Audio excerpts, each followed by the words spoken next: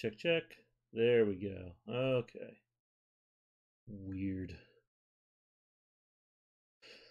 So, uh, pretty sure that means that none of the stuff I was saying earlier was actually going through, um, which is great.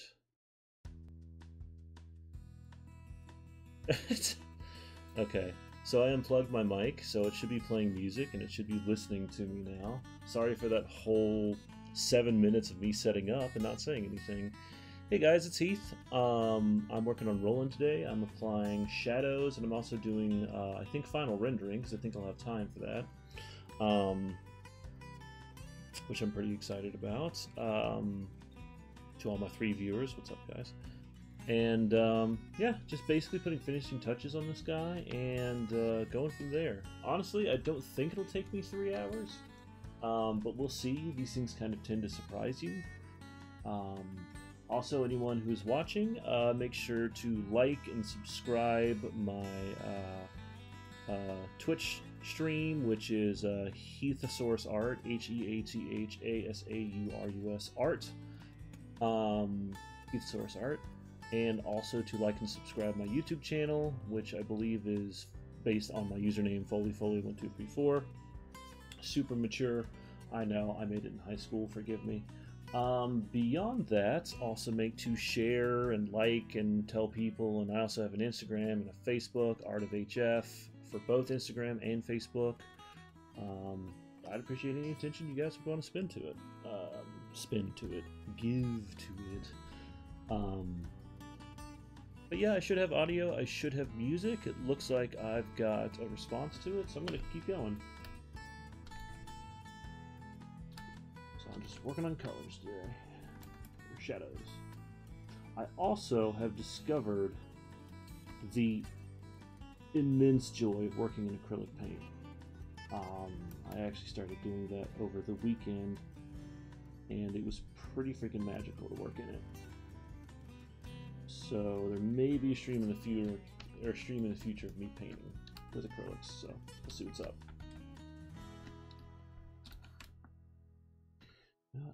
I ever finished doing shadows on all this leather stuff. I would have most definitely done that.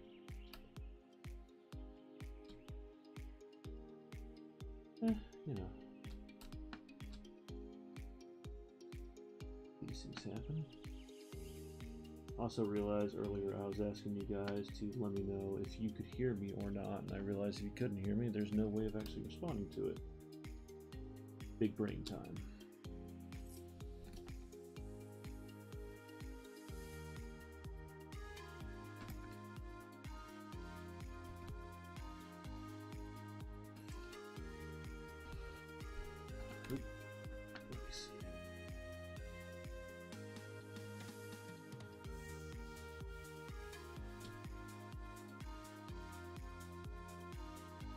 Yeah, working in acrylics has been really freaking fun. I mean, you know, I know digital stuff decently well. Um, I'm not gonna claim to be a master or anything of it, but um, you know, it's the home medium I've been working in for a number of years. Working acrylic is actually pretty sweet. I got a kind of Legend of Zelda, Ocarina of Time uh, feel for the overall piece, which I thought was pretty cool. And if you guys want to see that, I'm going to be putting that on Instagram. So make sure to follow me there so you can actually check out. Also recently discovered the fun of Instagram.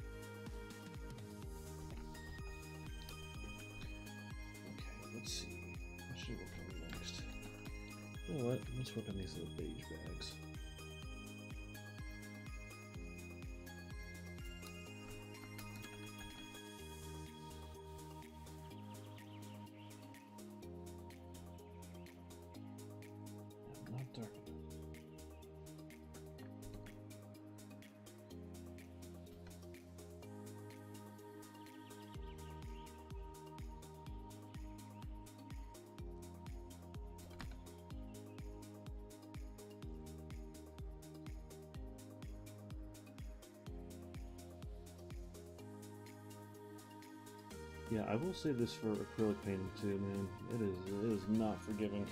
Well, actually, I think out of painting it is the most traditional forgiving because you know you really screw up and then you just kind of look back and go, well, I guess I'm gonna just paint over this now because the stuff dries so fast.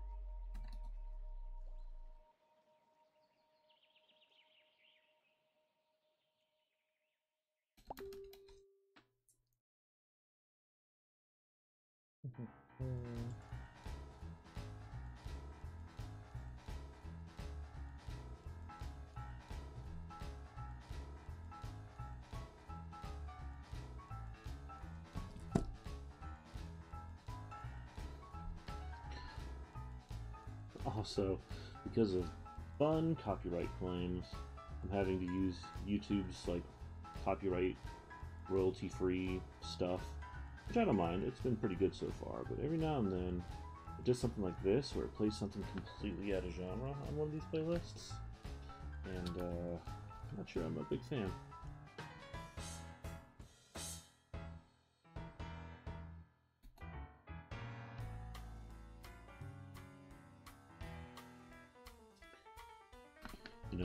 Swinging piano, jazzy routine, so good for drawing.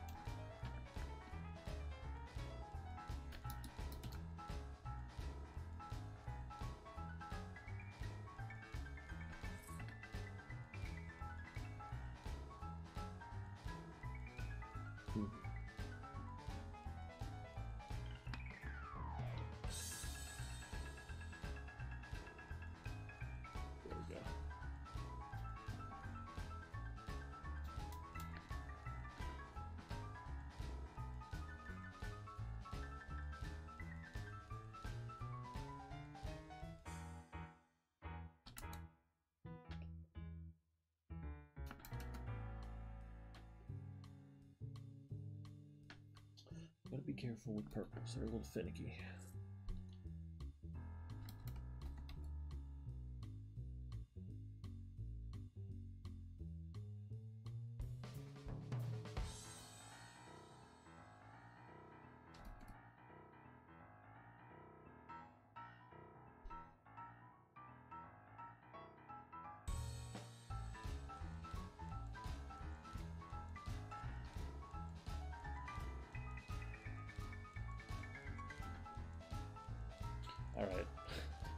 Switch this for myself.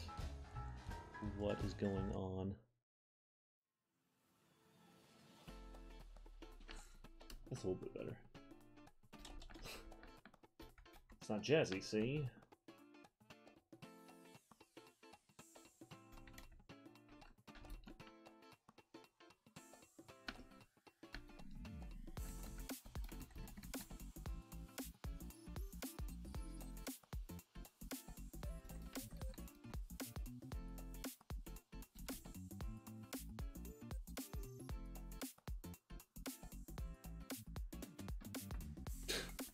No, Russell, not bringing back the swing music.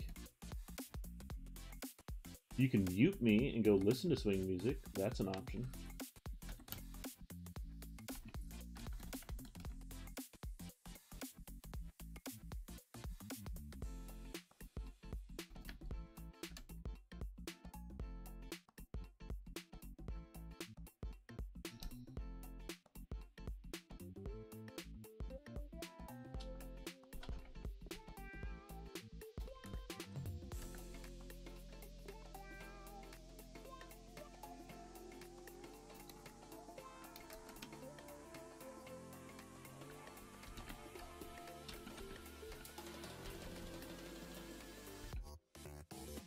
Customer. You paying for this?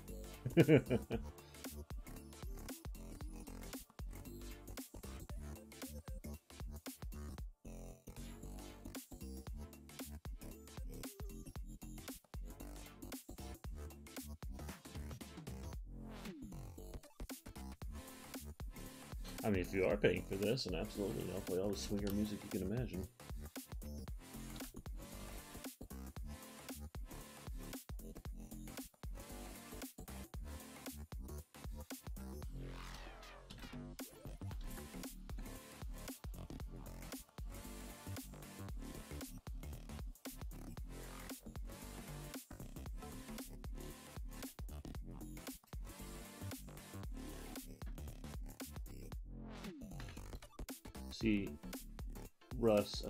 Both know. I think what we both know is that your time is worthless. Don't lie. Don't lie. Just not trying to hurt your feelings, it's just a harsh truth.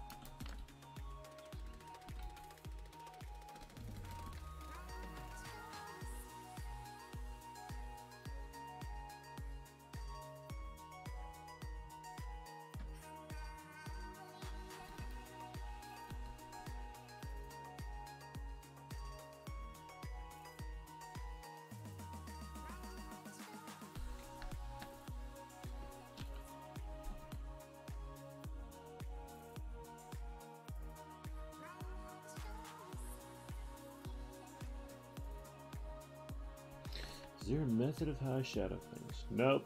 I just get in there and I start. No, yeah, there's a method. So typically I like to kind of get my big zones first. Um, big zones being like big spots of color, like the red here or the red here. Um, typically I find myself doing like the less complicated stuff first. Less complicated stuff is generally for me, which is strange, it's cloth and fabric. Oh hey Lily, go on, go on, I love you. You're adorable. Go on. Home is safe. Get out of here. Um, I choose the areas I know are going to be a little bit easier for me to do. You know, like I know where the light source is coming from, so I know on this kind of arm protection thing where the light's going to cast over, where I need to be hard and soft on things, and um, makes it a little bit easier. So generally, I go from like easiest to most complicated. Like if you watch the other streams, you may have noticed that I was absolutely ignoring the head on this guy. Um, right out the gate, too. And um, it's because the head's the most complicated part. I mean, when you look at this design, you know, the first thing you're going to notice is his face, his eyes, his smile, what he's looking at, and all that kind of stuff. The rest of the stuff just kind of, you know, merges in. But, um, no, I think I think with shadows, it's just kind of picking out the big chunks, trying to make it look as rounded as possible. The real trick is when I get into the rendering stage, which shouldn't be too far off, to tell you the truth. If I'm right, I may be wrong. We'll see.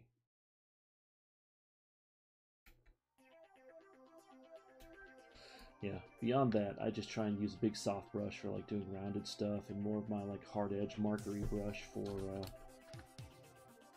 carving in more details and things. Like if you notice in the red over here, it's kind of a soft gradient, so I definitely use my big soft brush for that. But then for like this stuff, carving under where the fold is, more hard shapes, I use the harder edge line. A hard round 35 brush, which you guys can't see, because I figured You guys probably don't need to see every little thing.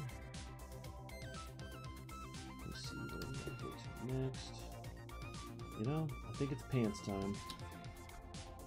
Pants, pants, pants. Pants, pants, pants. So I'm going to do something slightly different with this.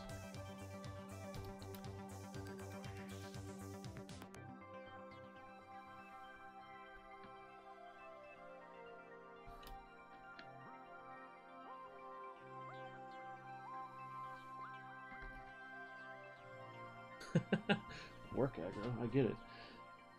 Um, basically, uh, I'm going to get um, the shadows are almost like the easy stage. They're pretty important, but they're almost the easy stage for me. Once I get to the rendering stage, I'm really going to be able to like put some serious energy into uh, how that rendering and stuff is going to go. Like right now, it's just me working close, trying to get shadows in the right places. Overall, like it's all kind of I think soft is the right way of putting it. It's all relatively soft with how I actually handle things, but um, once you get to rendering, I can start really carving out some serious shapes.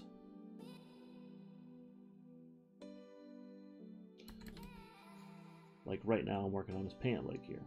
So I'm just going to soften up the line around the edges of it because I know it's rounded.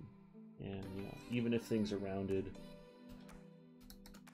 um, they're still going to contain shadows and whatnot.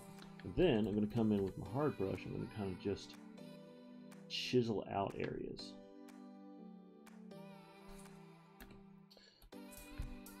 Shadows aren't always soft. Typically they involve a lot of hard lines and a lot of soft lines at the same time.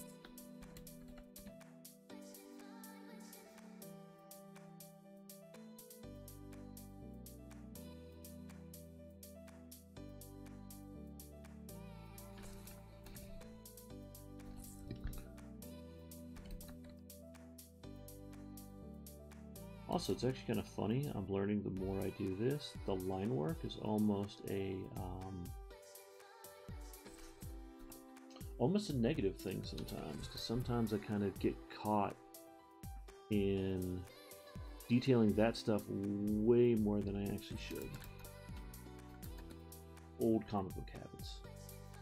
Know, if you're doing, if you're rendering things in black and white, you got to make sure that every single detail is there and you're showing an accurate amount of stuff while trusting someone who may or may not come and color something after you to come and handle it. So doing everything myself, I kind of try and make sure everything's idiot proof, but um, it's not always successful. As with most things in life, trying to idiot proof things.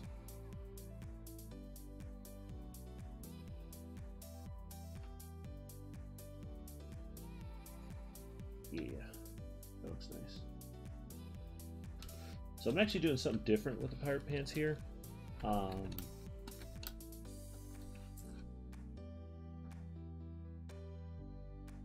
so normally I was selecting out zones and coloring them individually, but with the pirate pants, I'm coloring them as like two. I'm combining both the colors in their own specific layer. Because it's just easier to color them this way. And there's no reason why I shouldn't.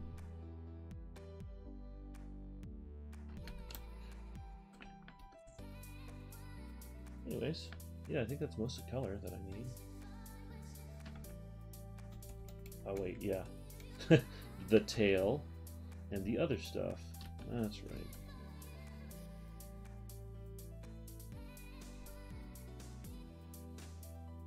I also do not like how light. Oh god. There we go. I'll darken these up.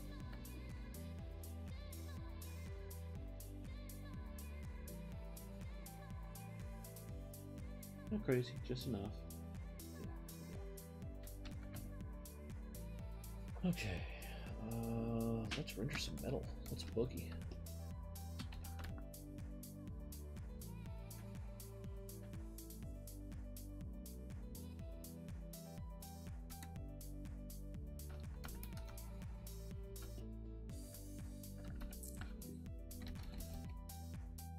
Luckily, this is actually really dead simple here. It's all kind of simple geometry. All I gotta do is pick the part that's facing away from my light source, and because the details are kind of small, I can kind of get away with doing really solid color breakdowns on things. Solid patches of color, if you will.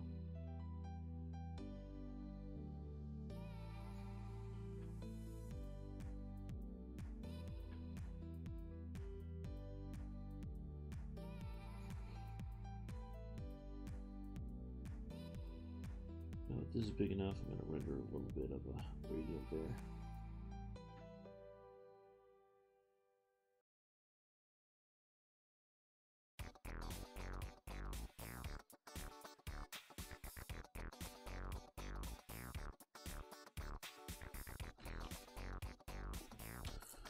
Right. Like I said, none of this stuff's permanent.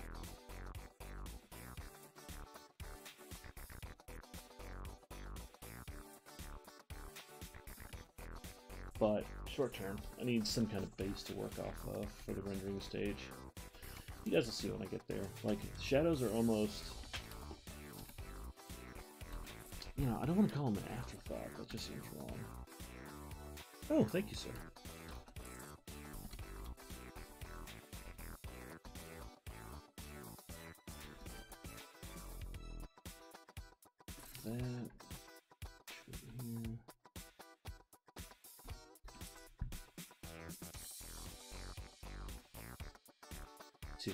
We're getting.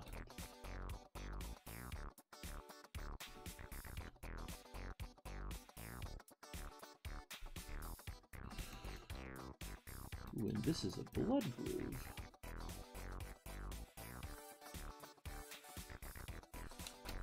Oh, that was really strong some.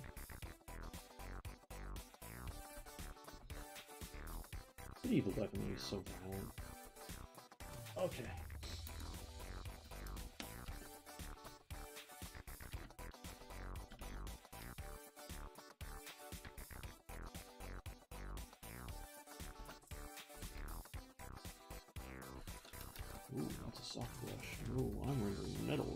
Flat shape, so I need to render it. It's a hard brush.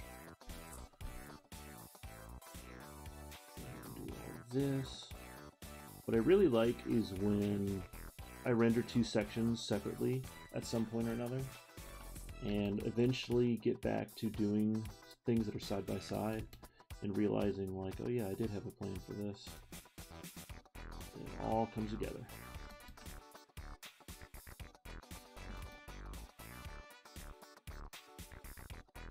Just rendering a little bit of... That is so weird how it keeps happening. Oh, that's what happened. My elbow hit a button. That would explain a lot.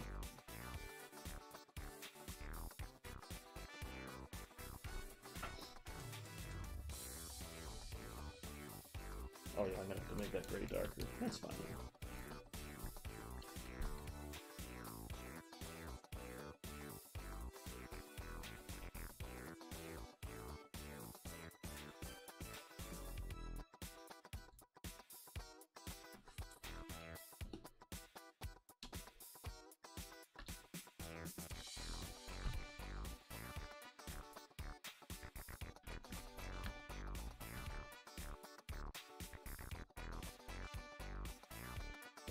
The only things remaining really at this stage are, in my mind, his tail and his face and a shoulder over here, but I'm considering it part of his face. So,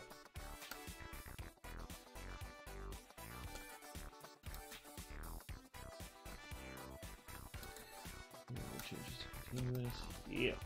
Alright, so I'm going to do the same trick I did before.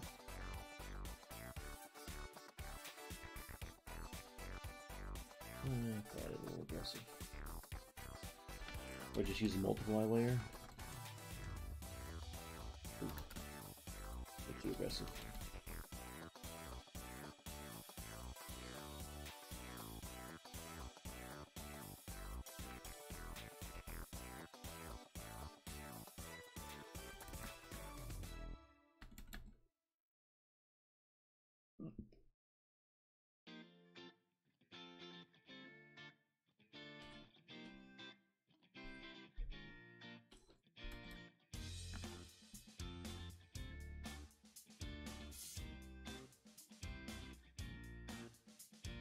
Yeah, things cast shadows on stuff.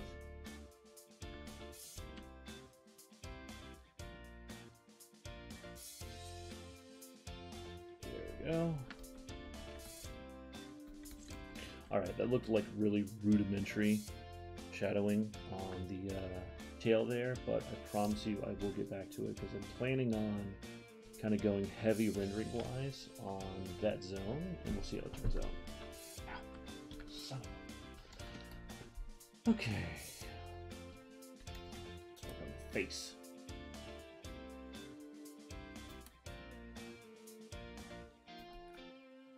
You know what? I'm gonna try it on the face too.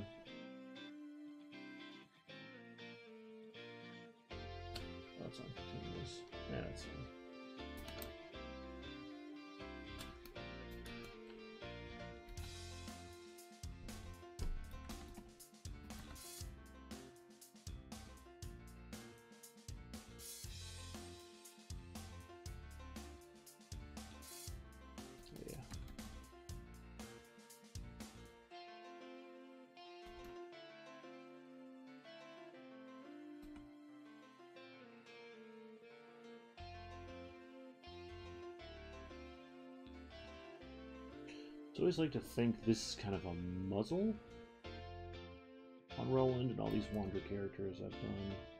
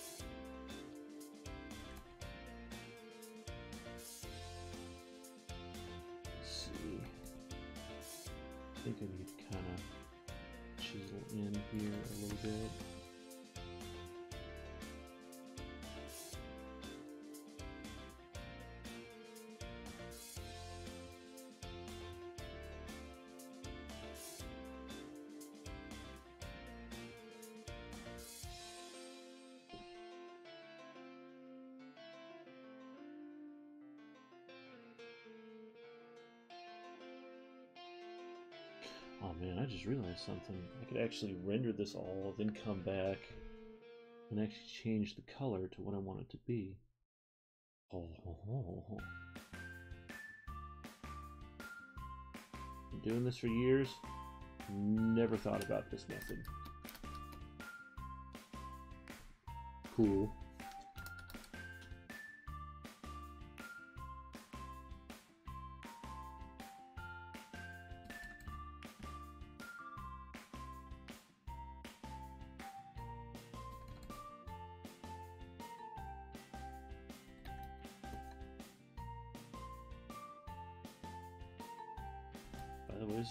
Adorable. It's not swinger music, Russell, I know.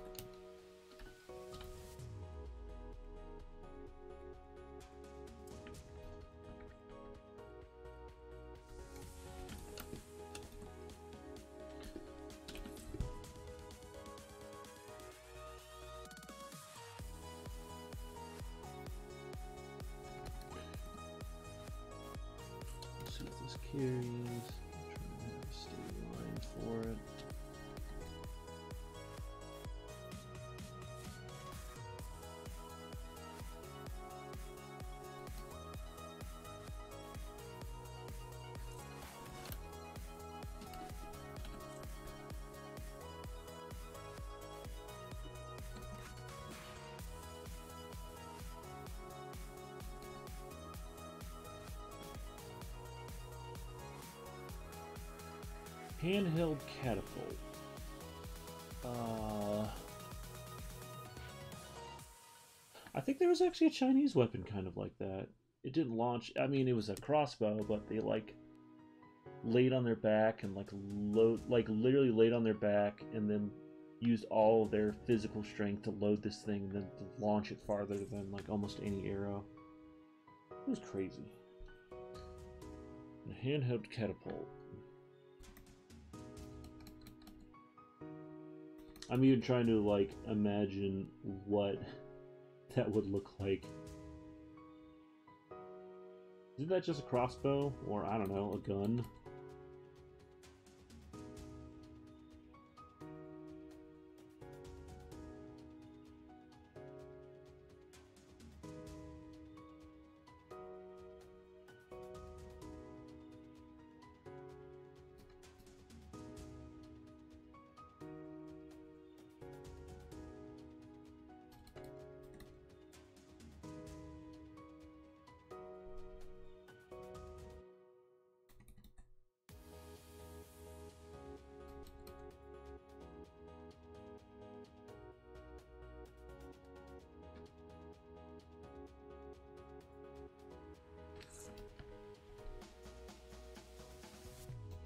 Trebuchet. A handheld trebuchet.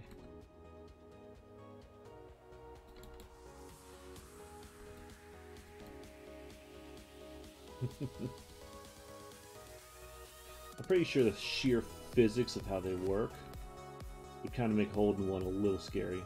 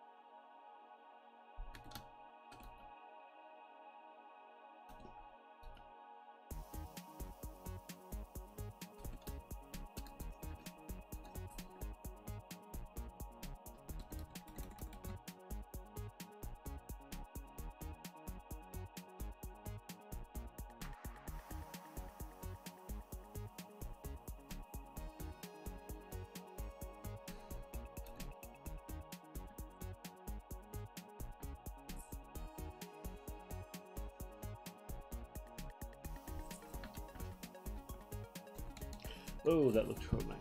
Okay, we're gonna just calm that down a little bit. Yeah.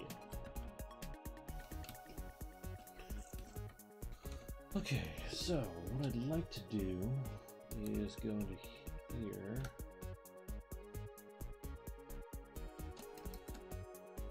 Let's see if we can't make some adjustments.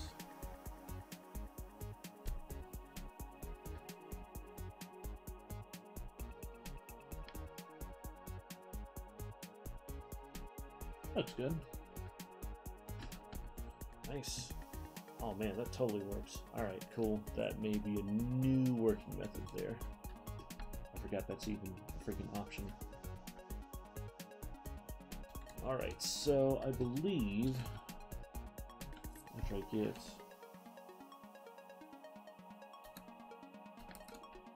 this arm done, I should be ready to start into the rendering phase. Ooh, all rendering. So I just call it that. It's more like highlights, but then I realized very quickly that uh, I wasn't just doing highlights. I was like fixing shadows and doing textures and all this other stuff. Calling it highlights just kind of sounds, I don't know, not qualify. It doesn't qualify for what I'm actually doing.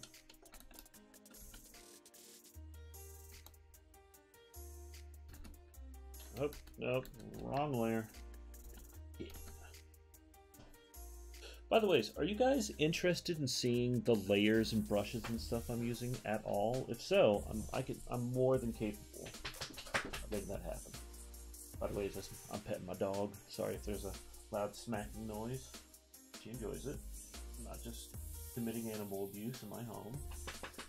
Alright, go on. Go on, get out of here. You're adorable, and you smell like the outside. Alrighty. Ah, oh, burb. I keep forgetting about burb.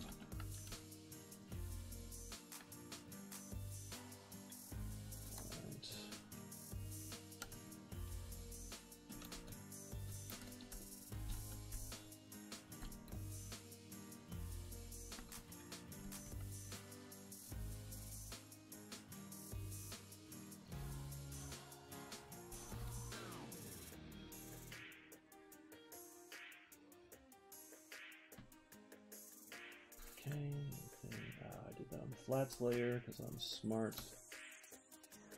Yeah, whatever. I'll be fine. Honestly, I'm not really worried about this point. If this was a more professional piece, like something I'd be giving to a client or something, I'd probably be a little bit more careful about everything, but only because people make changes and opinions, and that is okay. They are paying for a thing. You hear that, Russell? Paying for things gets you opinions.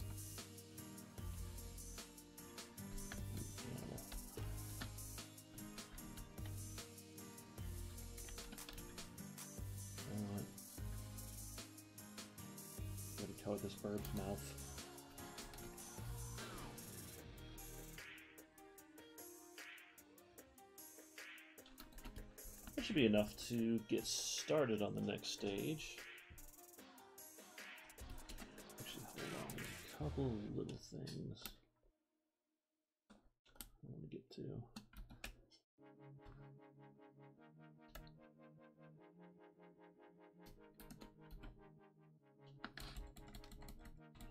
I feel like there's just a general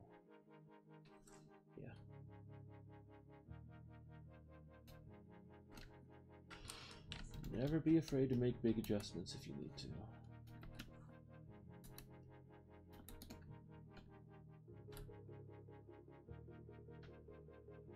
Unless you're being asked to draw trebuchet being held in the hand of a character, you should ignore that suggestion. Unless you are, in fact, a big fan of trebuchets, i.e., the best siege equipment ever. Although I'm pretty sure tanks are pretty good far up there too.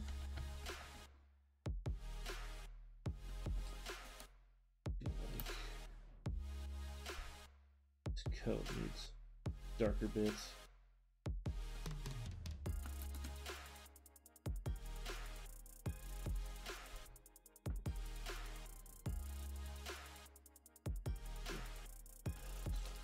Alright, well, shadows have been applied. He is nice and rounded now, which is nice. Uh, let's...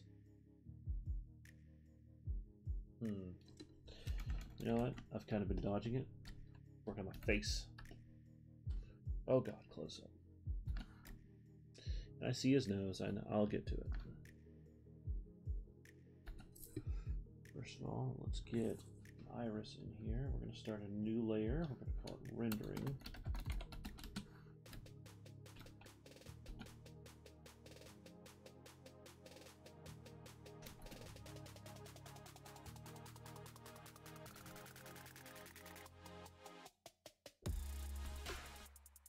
Oh boy.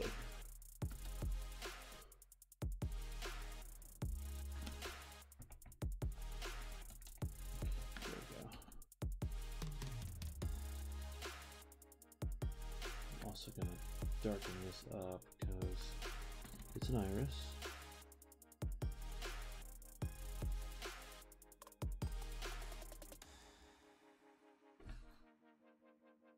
I always liked working on iris. Actually another layer to get underneath here. They're just kind of fun to render and give character a little bit more life. Also, they are concave to a degree.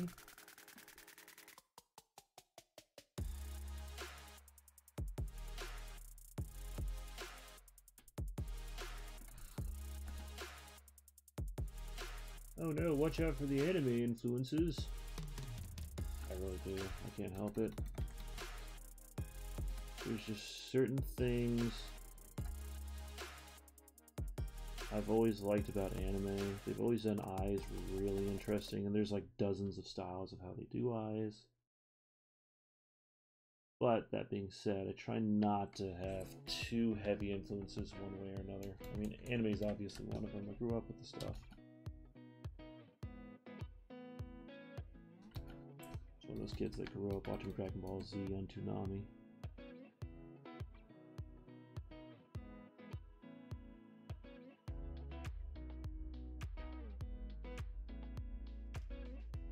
you know, the show where they yell for five straight minutes.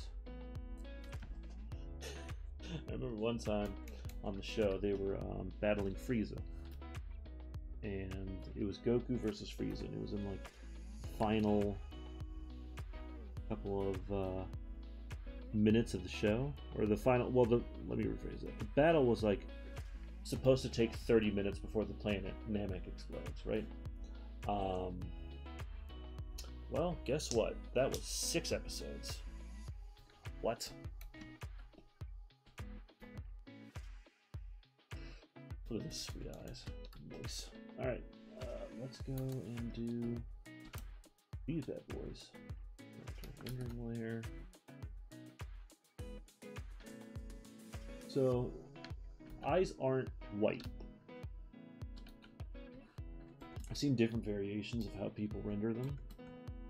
Um, I've seen people try and do white that's kind of solid white's more cartoony. I've seen people do um, yellow, like I was playing uh, Horizon Zero Dawn and I saw all their eyes were kind of yellowy and it, and it worked in the tone, overall world that they were building. But uh, on the Wander, I try and make everyone's eyes blue, at least the whites, the whites of their eyes, quote unquote blue.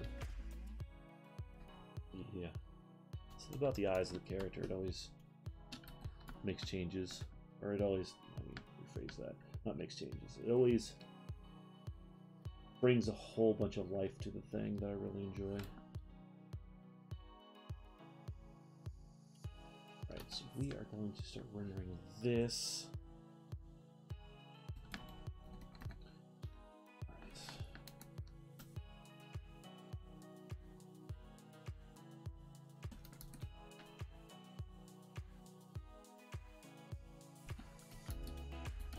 So all I'm doing here is you'll notice the blinking lines and I make them disappear. I'm not just deselecting things, I'm actually um, I'm actually hiding them a little bit.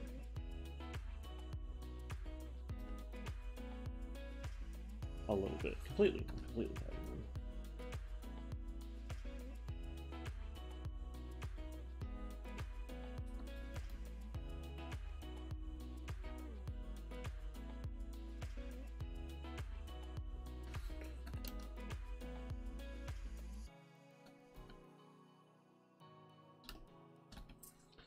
right now all I'm doing is trying to kind of render out the shape of his muzzle.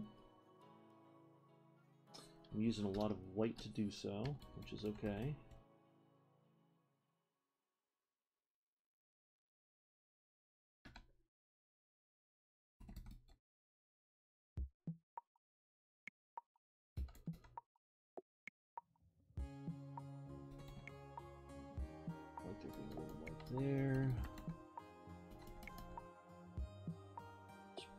he's got a bit of a lower lip. Goes down to the chin.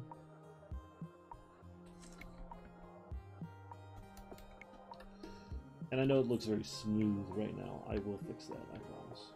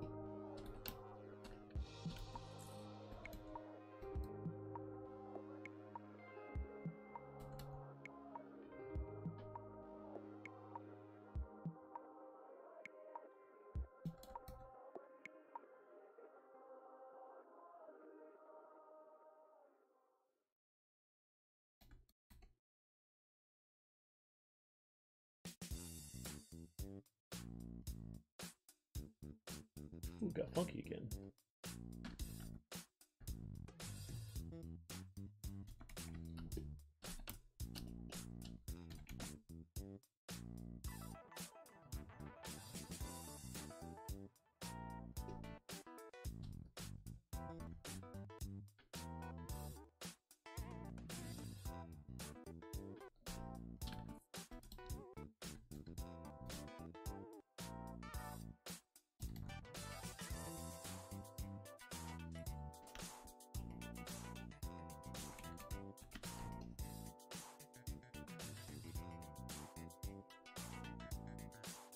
Hmm.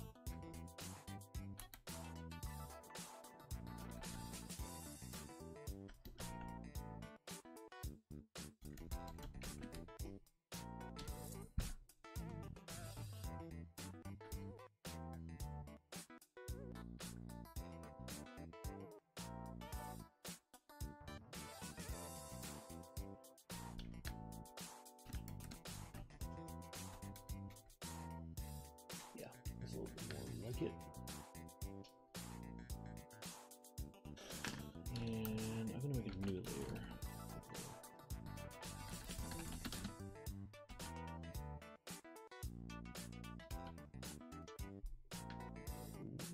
What is this nonsense?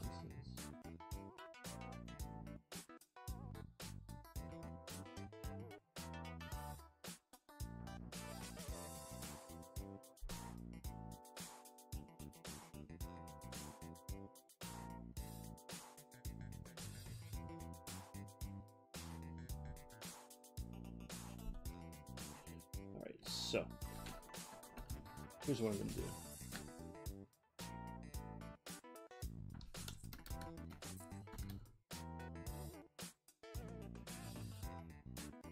Since they are furry characters, not furry characters, since they are have hair, are capable, I'm going to just use a little bit of this Conti brush that I used to do all the initial line work.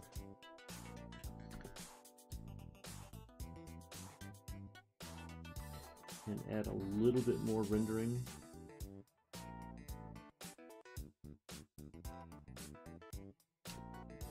Just because I think it looks good.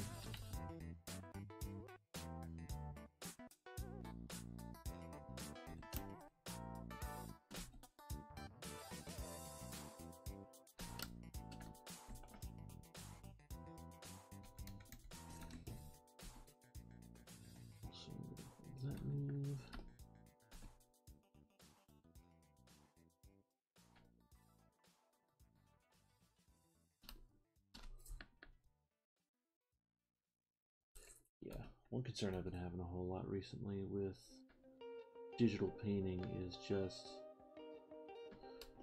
you know, it looks digital. I mean, there's ways it can also not look digital, but to me, more than anything else, I've realized a lot of my work looks very digital, and that's that's okay. Digital art, but there's also a lot of really talented guys out there that are capable of making their stuff look like traditional paintings, and always made me a little jealous.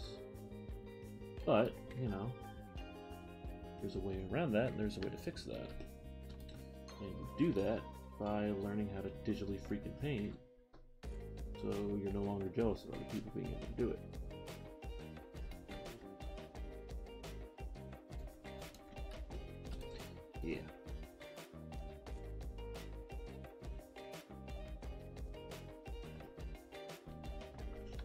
Looks pretty good to me. No, I'm gonna add a little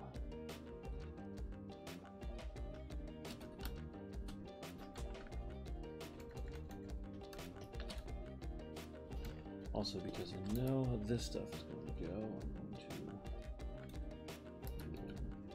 to booper rendering.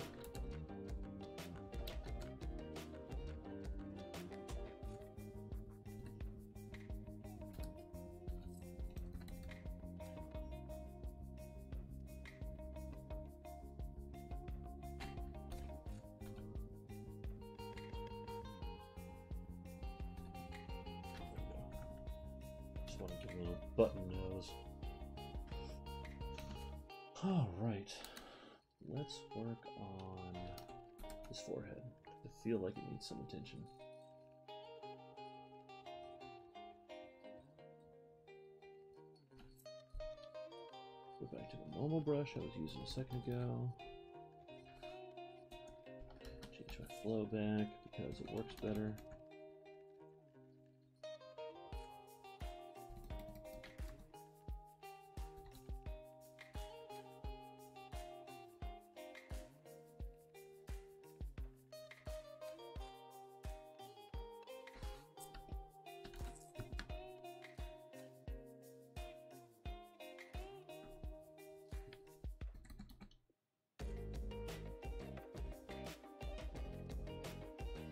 All I'm trying to do is kind of set out these preconceived shapes they've given them. But you know, if you can look from the line art, like if you just look at line art and shadows, I haven't done a ton to really notify what the shapes are and are not. But when I get in the rendering stage, absolutely start chunking that out, which probably one of my favorite parts of it.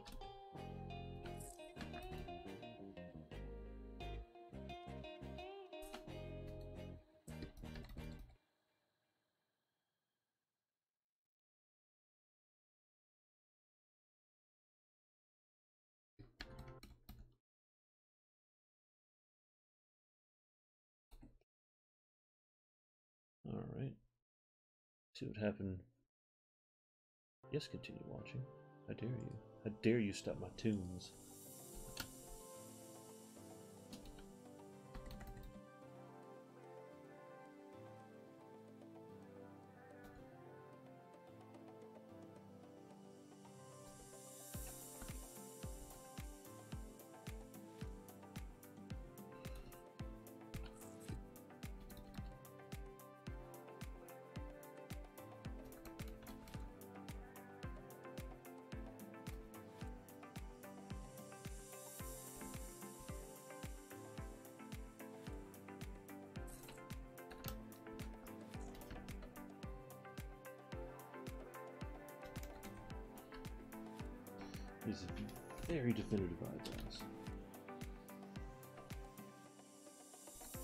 I might need to adjust a little bit. I'll go on the shadows layer.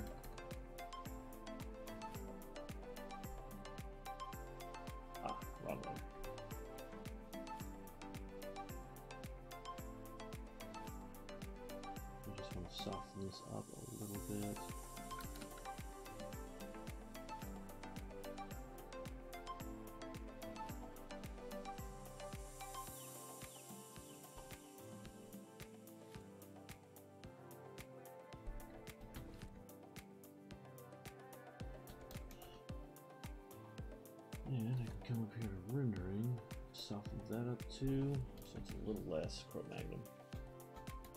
Nice. Okay, so I'm also going to go in here,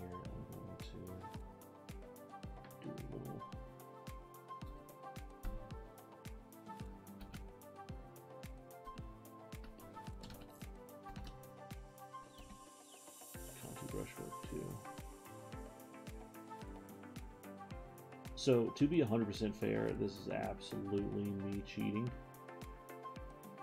What I mean by that is that fur is hard to draw.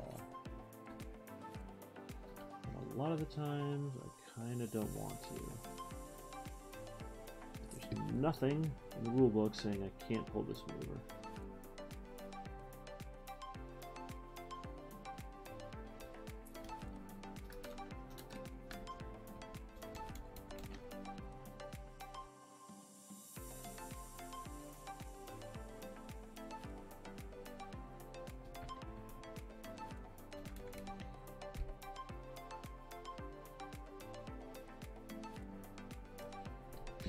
Try and be a know? I want to try and keep it directional with whatever I am rendering is doing.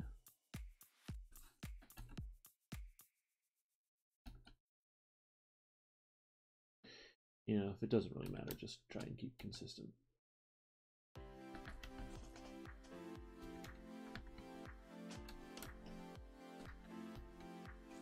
Looks pretty good so far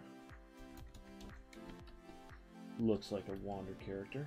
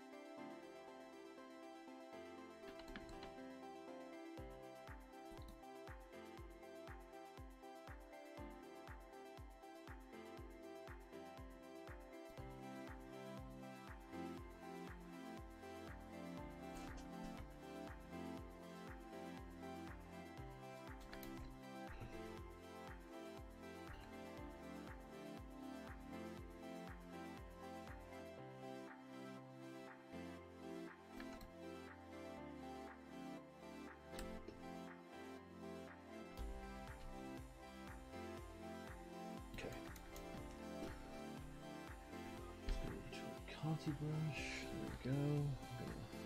Lock that up.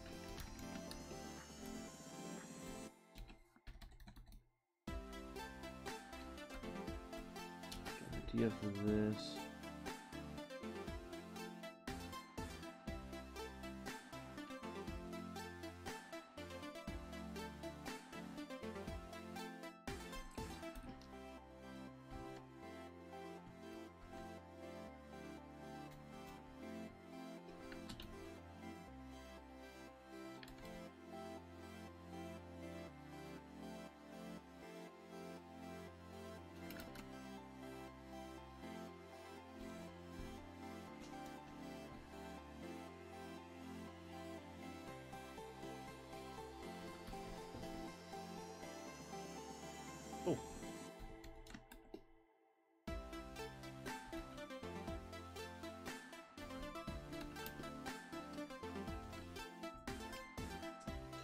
Alright, well, challenge the biggest biggest part.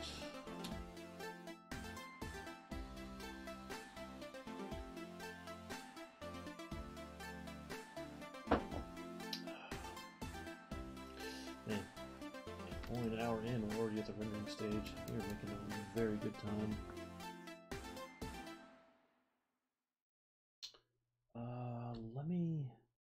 It'd be smart do.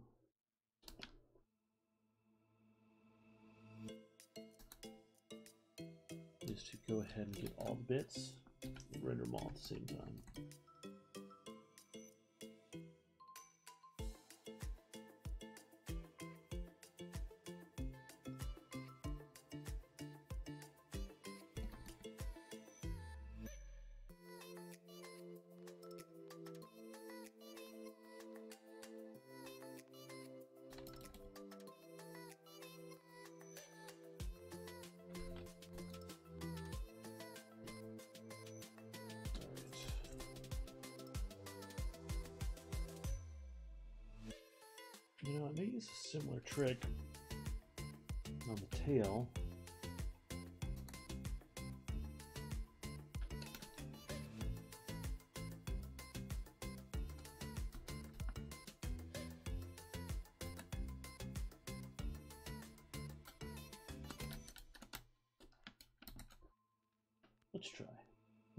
See what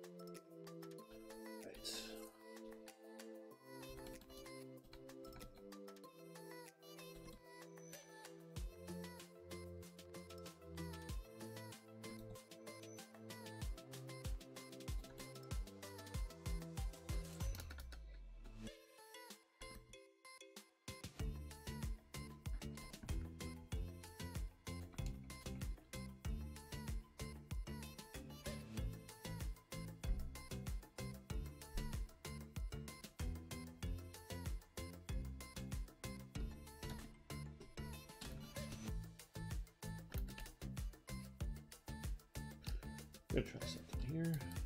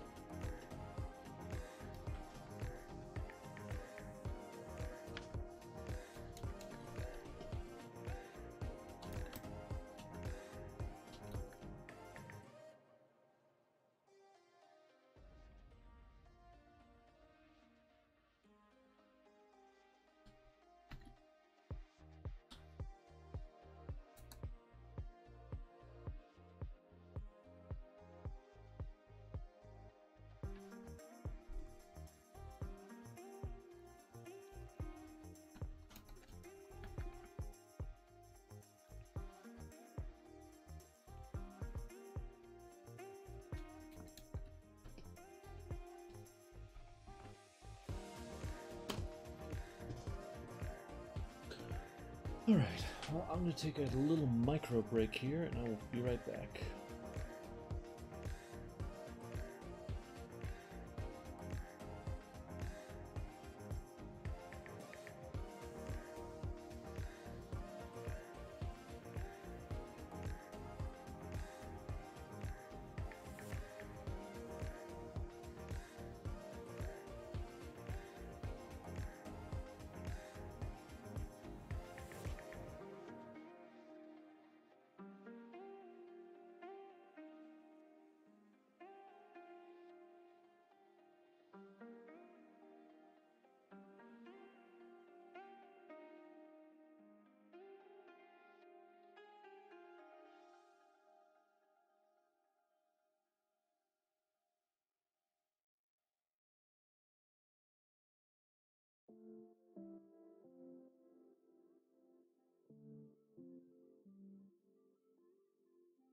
Thank you.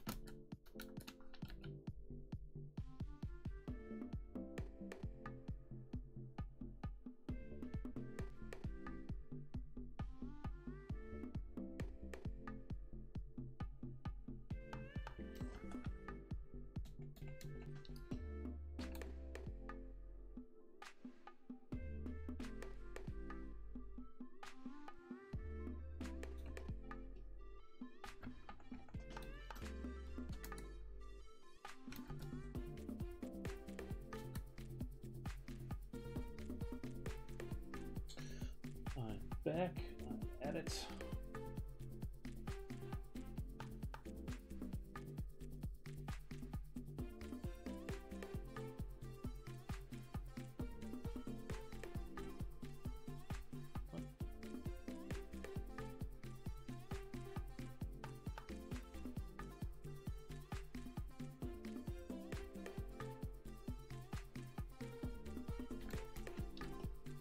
Hmm.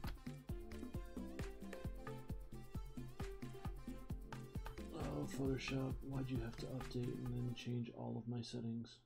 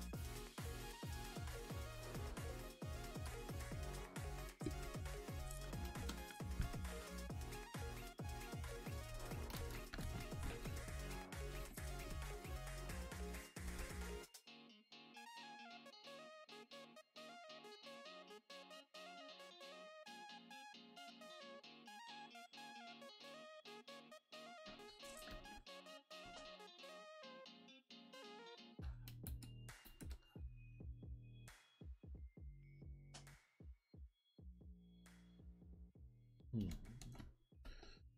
Question is, where do I want to go next? You know what? Let Leather glove, let's do it.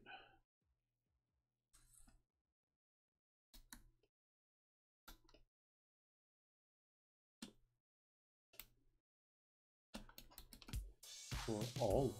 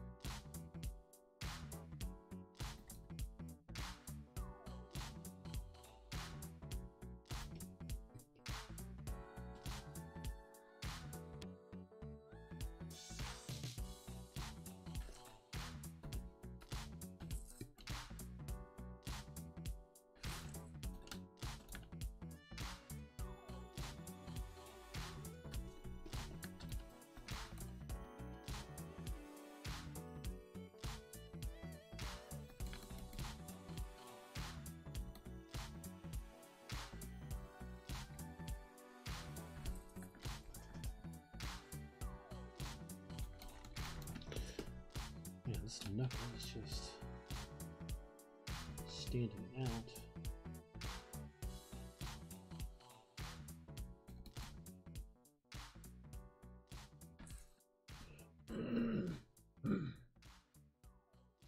Sorry for that fun noise there.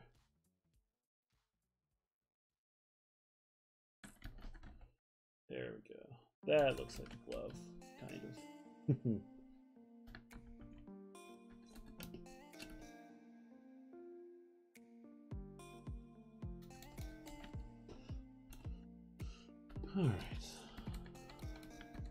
pretty good about that.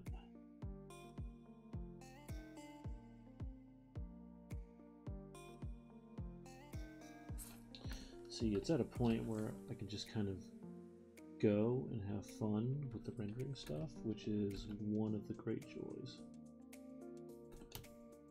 Working on this kind of stuff.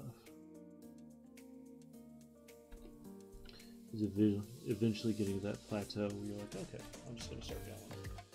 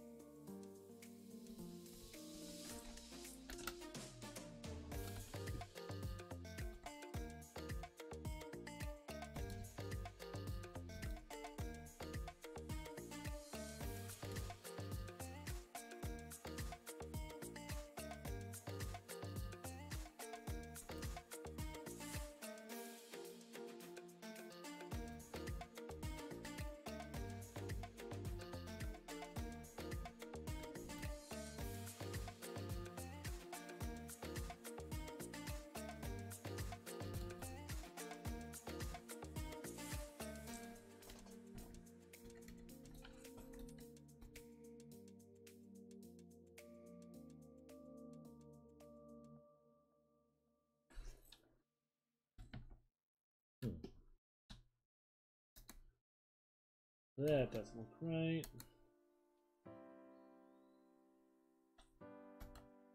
Yeah.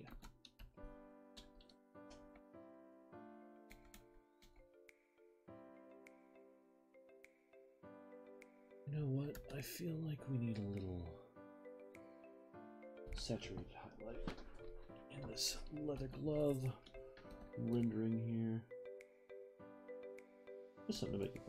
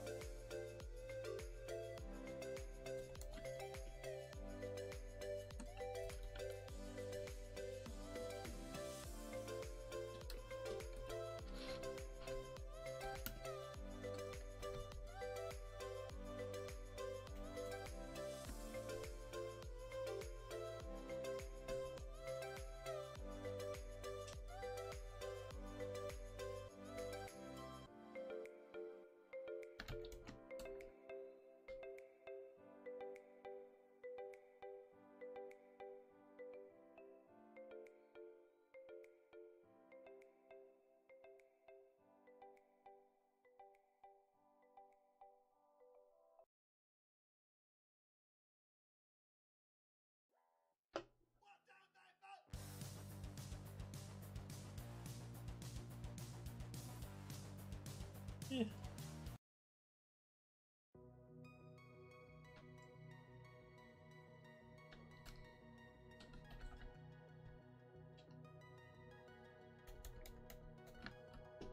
Hmm.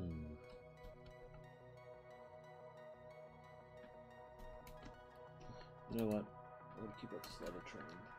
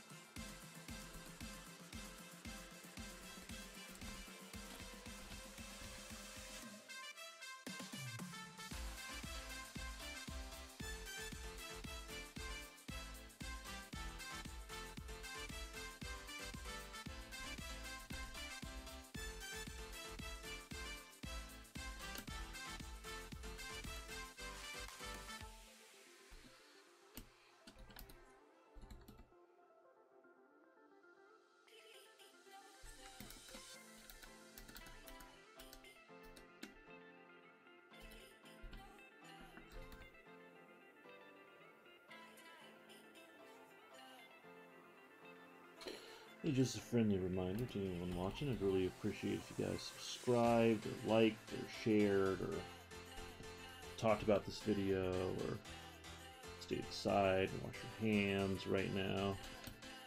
Anything along those lines. I'm on Instagram as uh, Art of HF. I'm also on Facebook under a page of the same name. Um, you know, not really trying to grow or become some immensely popular streaming guy, but you know, some recognition is always nice. Uh, so if you guys could check it out, and uh, you know, reaching a bigger audience would be pretty cool.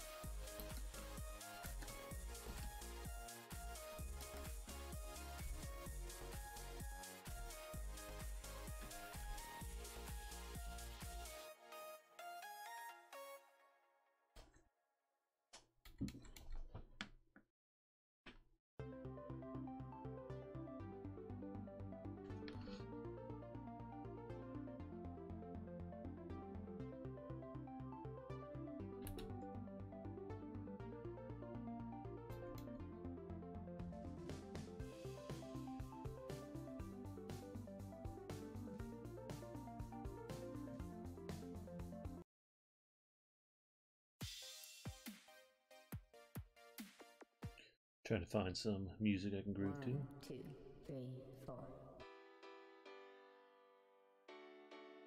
Yeah, sure.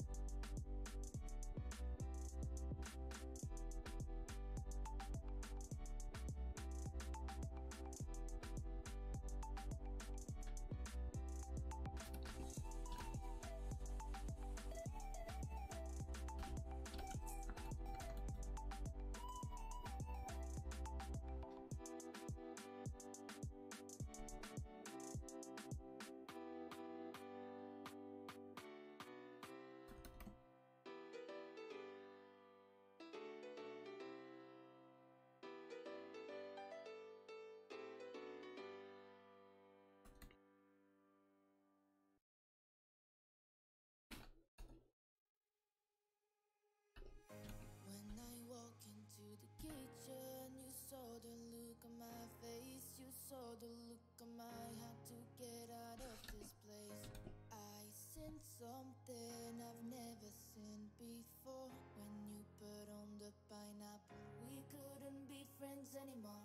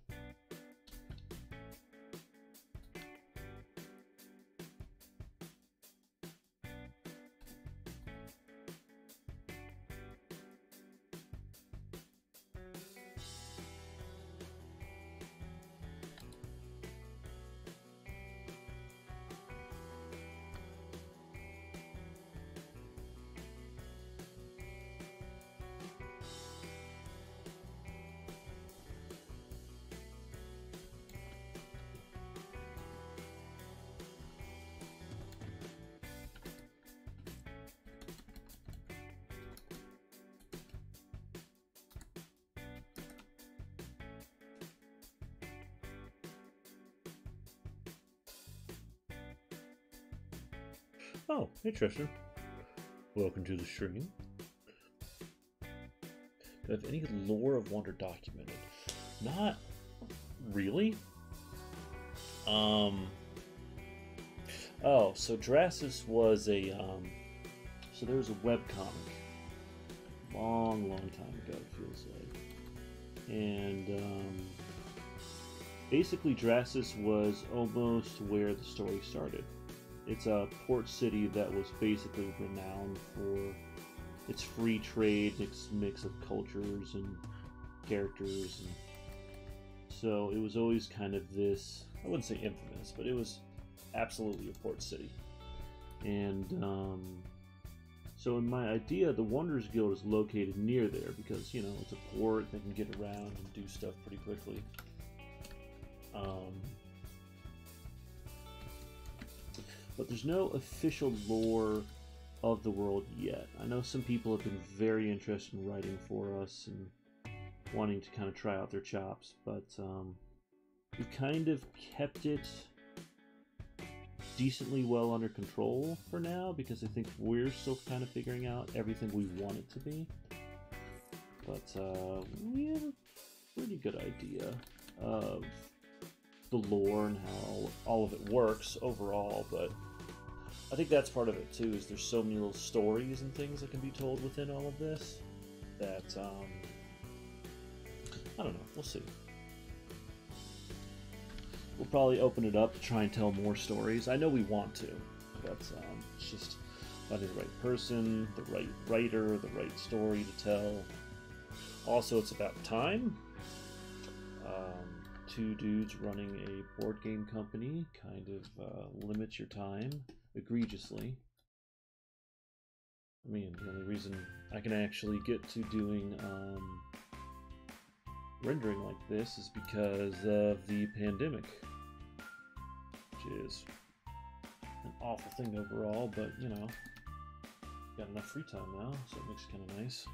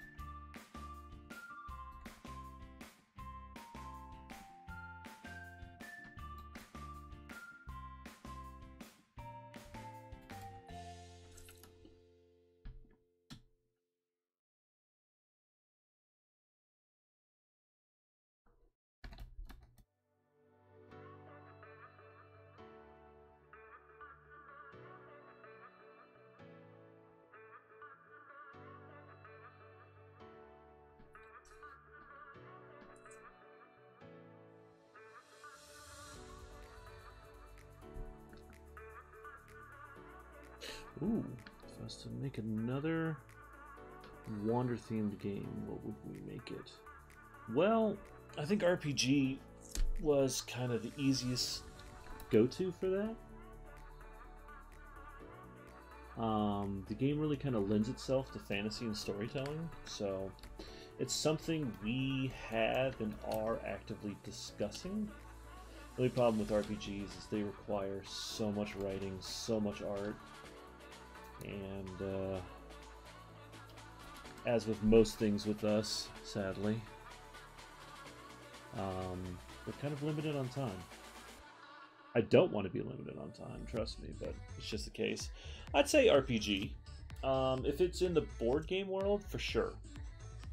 Um, because I feel like a card game, all we would do is have some kind of battle system in another game of choose a wanderer, you have a deck based for your attacks, and you start doing drafting and can start attacking monsters that way. Um, or you do something more along along the lines of I don't know. I think an RPG is the way go. Video games are a whole different question, though. I'd love to turn this into a video game. All I want is Breath of the Wild with Wander characters, and you can create your own Wanderer, load into the world, load into your friend's world with your character. He's the main character. You get to go around and do stuff go around all these locations and places, just like with that free play element of how uh, Legend of Zelda or uh, how Breath of the Wild worked, and then mix that with a really nice quest system and a good story. Oh, that'd be my dream game. I'd play that in a second.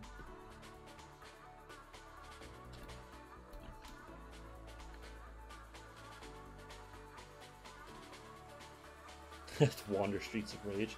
I thought about that too. A little side scroller where they like go through little things. Hell, Teenage Mutant Ninja Turtles Manhattan Project was my jam, so I've got that in mind.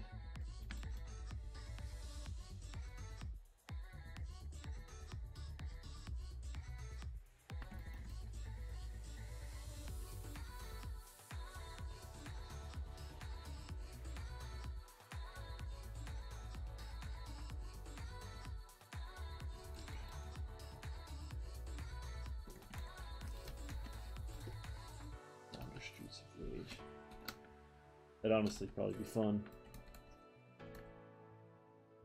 There's actually a game coming out. Uh, I saw a trailer for it a long time ago, and it looked like you basically made a mutant, and you fought all these like other mutated animal creatures, and the idea was based off your stats, your character's like shape and ability changed, and their fur color and pattern changed. It was a really cool concept.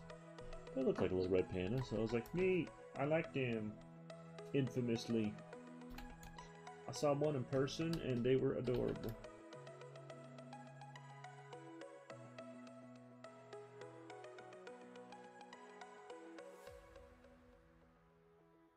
What a damn cute boys.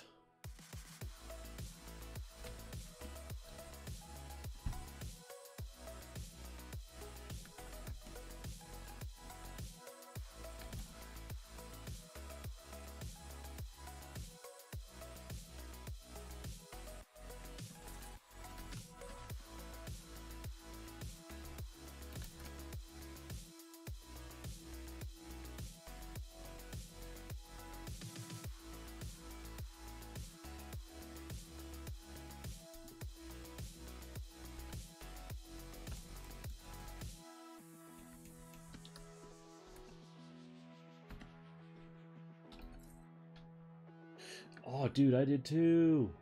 It was awesome.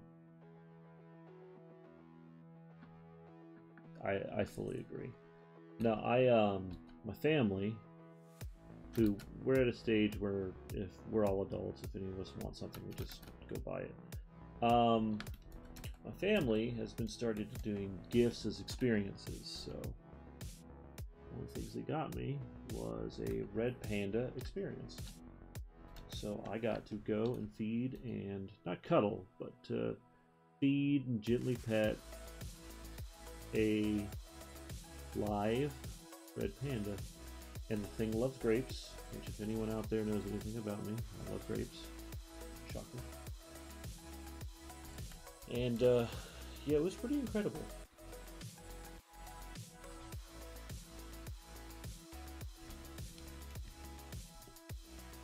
Get it, man. Those claws are for real.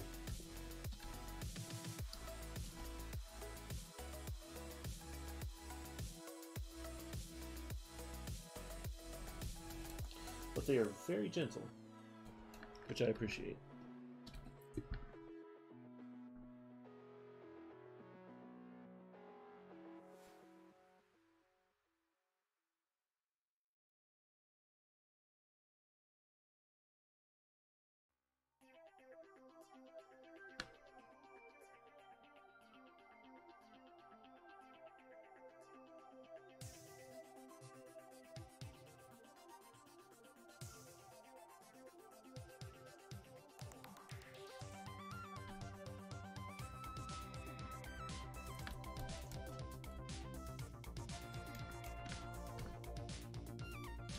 That's really cool.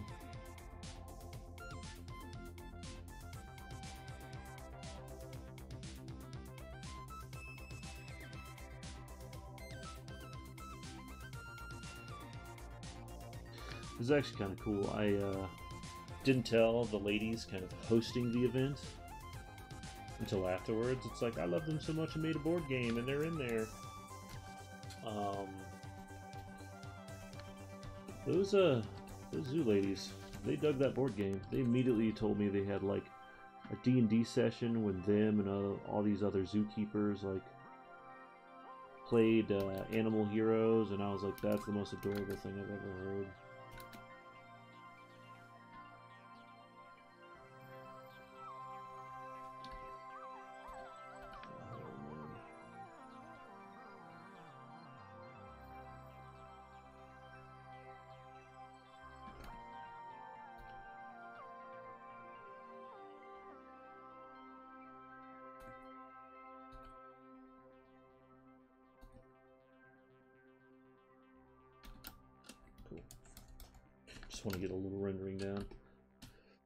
Did playtesting of Logan's Hero go? Uh, I wasn't actually there for that one. That was Jonathan and um, Logan. Actually, no, it was Jonathan and no, it was Jonathan and Logan because Logan was in town for my wedding. Um, apparently he was busted. Apparently, like, because one of the rules is for every HP down he is, he gets another dice to roll with his attack. And if you get him with a bunch of health bonus items, and then put him in a tanking position, it's just freaking brutal.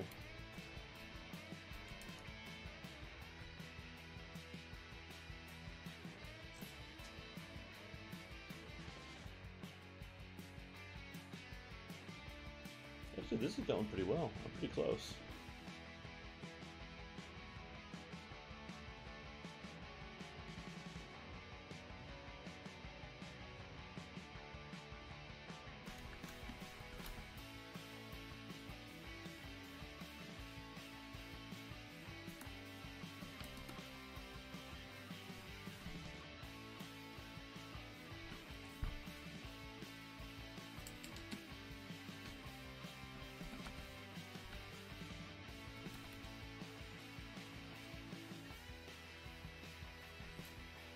Yeah, that's always the fun of playtesting new characters for Wander is realizing how, uh, you know, we, we, we do careful balancing of everything, just playing the living crap out of stuff, and um, you'll realize pretty quick who's broken and who's not, and it also depends on equipment and stuff too. But I think uh, Logan was one of the characters that kind of proved to be a little busted. Also rolling with the nunchucks. Holy crap. Which character changed the most from original draft? Uh, Oh, and for anyone watching the stream, um, we're talking about Wander the Cult of Barnacle Bay. Uh, my business partner, Jonathan, and I uh, developed a game, went to Kickstarter. It was super successful by our standards, and um, Tristan's a big fan of it, so we're just discussing characters and stuff that happen in it. It's a one to five player dungeon delving, uh, uh, dungeon crawl game, and it is a lot of fun. And you should pick it up on the Pandacult Games store, pandacultgames.com, and then there's a store link there. It's awesome. Um, which character changed from their original? I don't know. Ibexus and Kira went through some pretty big stat overhauls. John the Bard was probably the single most complicated character we've ever designed, but I'd have to say probably Roland, honestly. Roland probably went through the most dramatic change of anyone else.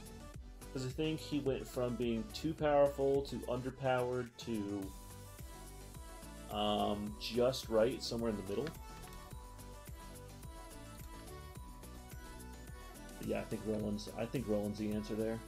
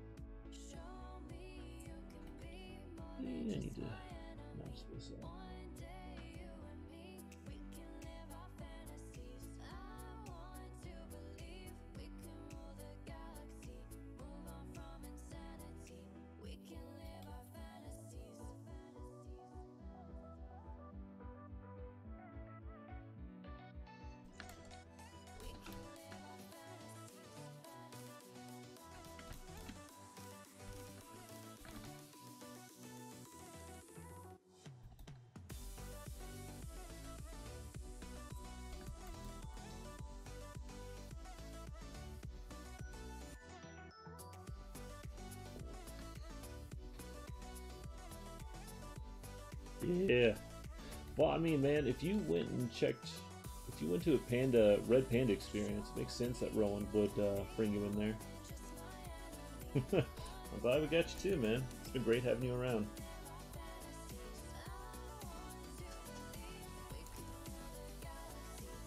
God, I've drawn Roland. I've probably drawn Roland more than. Well, that's a lie. I've drawn one character probably more than Roland. and That was Blaine from Mantic Games. I think I've drawn him like six or seven different times. Roland, I'm at least fifth time. I love that art, man. Um, I love the original sketches and concepts from the Red Panda Minis days. I mean, all those designs were so much fun to work on. Um, and they, it was a passion project, you know? It was um, something I doodled and put together and went, all right, this is cool. Um, these are just some designs I like doing. I'm a professional miniature designer. Then someone piped up and said, hey, what if you turned these into models? And I think that person was Jonathan.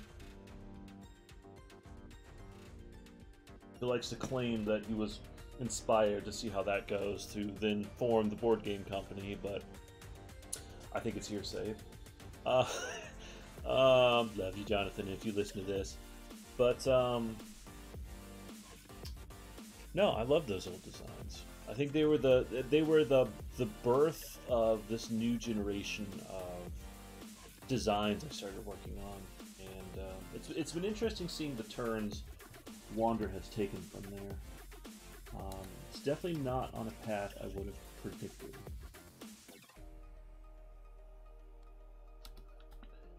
The des- designs kind of ended up getting more serious over time. Um, I think by the time we got to Barnacle Bay, I was working on a couple of different things, and uh, just realized this is super aggressive. There we go.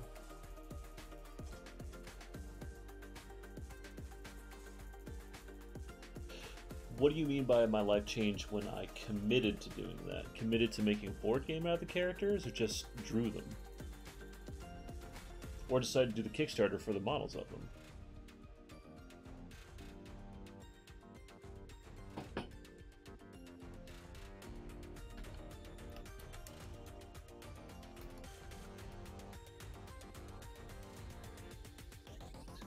If you're looking for ah the minis in the games, I don't know. The minis were a fun experiment.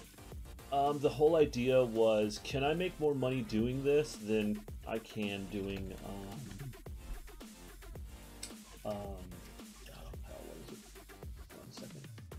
Realized something. Oh no! I messed up.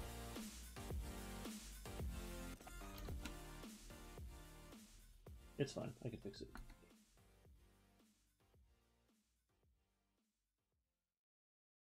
The process isn't always perfect. Um, the board game definitely was life changing. The minis were not. Um, the minis were great in the sense of um, I did an experiment to see if I could make more money creating a business and making my own minis than producing the artwork for it. And the fun result of that experiment was yes and no. Is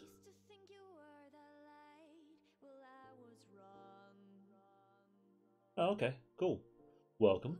Um, I don't know. I, I think when the when I did, when it did the miniatures, I kind of proved that I could make money off of the art or off of producing the minis more. Because I watch watch people on Kickstarter take a design of mine and then make fifteen thousand dollars in two hours. And I was like, this, and they're paying me how much? Okay, cool. So after that, I decided to give it a shot alternatively and uh, see if I could do it myself, and I did. I made about seven and a half grand, if I remember right, maybe a little bit more, and that was great. Uh, the only problem was is that doing the art, getting the mini sculpted, and the amount of time I put into it. If I'd just been doing art, period, I probably would have made more. Uh, but as a individual per design ratio thing, yeah, I made more money um, and then, you know, Jonathan and I used those minis and got all fired up and said, you know, hey, what if we um, turn this into a board game, start screwing around? And I mean, that sucker made 173 grand and blew our minds. You know, if I had a. Actually, John and Liz have a basement full of Wander stuff. Well, not the original miniatures. We, we phased those out at this point we have the masters and we have those done, so that's that's not a big concern. But um, uh, yeah, John and Liz actually have a garage and a basement room full of Wander stuff, like old minis and um, replacement parts and boxes and pieces and bits and things like that. So they exist. They're floating around. I'm sure with every game that we work on, that collection is going to get bigger. As far as Wander artwork goes, though, I'm the king of that. I've got the most of that in my home. I'm actually working on a series of acrylic paintings based on the um, kids from Wander. Like, in the sense of, like, if Tank was a little kid, but he was in contemporary modern times and was imagining himself a fantasy hero, I'm doing a series of uh, paintings like that, which you can see on Instagram at Art of HF. Woo!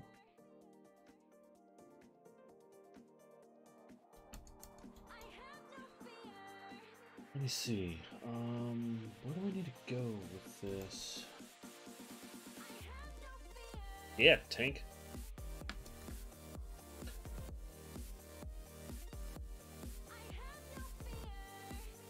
Oh, thanks, man.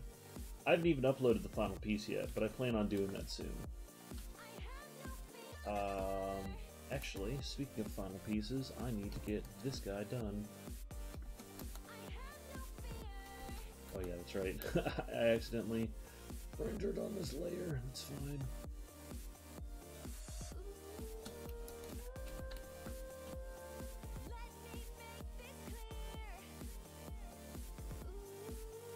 Oh, what age Tank lost his arm? Um, so, in the unofficial lore, uh, before Tank even joined the Wanderers Guild, he was a soldier in the Imperial Army.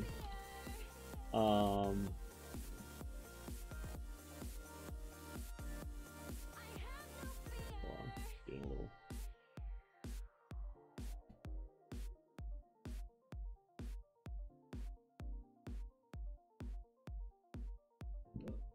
You know, I didn't exactly plan on doing a pattern on this bird, and here we are. Yeah. Oh, that looks a little janky. It's okay, though. Eh. Oh lord. Alright. No, do not. oh my god. Um, so Tank was an officer in the uh, Imperial Army. And uh, in Wander, the Imperial Army is not necessarily good or bad. They're not great. And this isn't Ross. This isn't Ross's army necessarily. This is. Um. Oh yeah, I knew it was you, Tristan. I figured the switch over from um, Facebook was you. Um, just gonna pull this maneuver.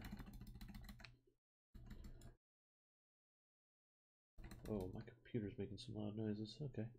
Um, but Tank went over to the Imperial Army and he was fighting in a battle. And basically, the general at the time, who, fun fact, is going to be was the bad guy from the webcomic I did years ago, which one day I'll reveal that art. I'm not very proud of it, but it's not bad. Um, so the general basically put an order down to take down all civilians, and um, you know, Tank was following his duties to a certain degree until he, you know, kind of crashed in on family with some kids, and you know, he's basically ordered to take him out, and uh, you know, that's a pretty harrowing thing to be asked to do from a soldier standpoint. So uh, Tank refuses. And I think for the first time in his young life, he uh, refuses the order of an officer in charge, and uh, in the process, a bunch of other soldiers come up and basically call him a traitor, and you know he's not following orders, and they're getting ready to do the job for him, but he steps in their way, and uh, as punishment for his crimes from you know not following orders, uh, they take his arm. Um, bite the hand that feeds you, that kind of a thing. So uh, he's so disillusioned with the entire process of the military and what they did and how they were basically, you know, taking families out instead of fighting the good fight like he thought they were. That um, he left of his own accord. He was basically branded a traitor. And eventually, Yeah. This is part of the reason why we haven't printed all this stuff is like it's a little serious. Um so he was branded a traitor, but over time, luckily, while he was wandering around, hint hint, um, he found his way to the Wanderers Guild and realized that they were doing things, you know, they're still getting paid to do jobs, but they are heroes and they were doing things in more of a proper way. And uh, he joined and liked joining an operation where he his opinion could be heard and you know he didn't get ignored or anything like that and um, eventually he met mary fixit. She made him a new arm.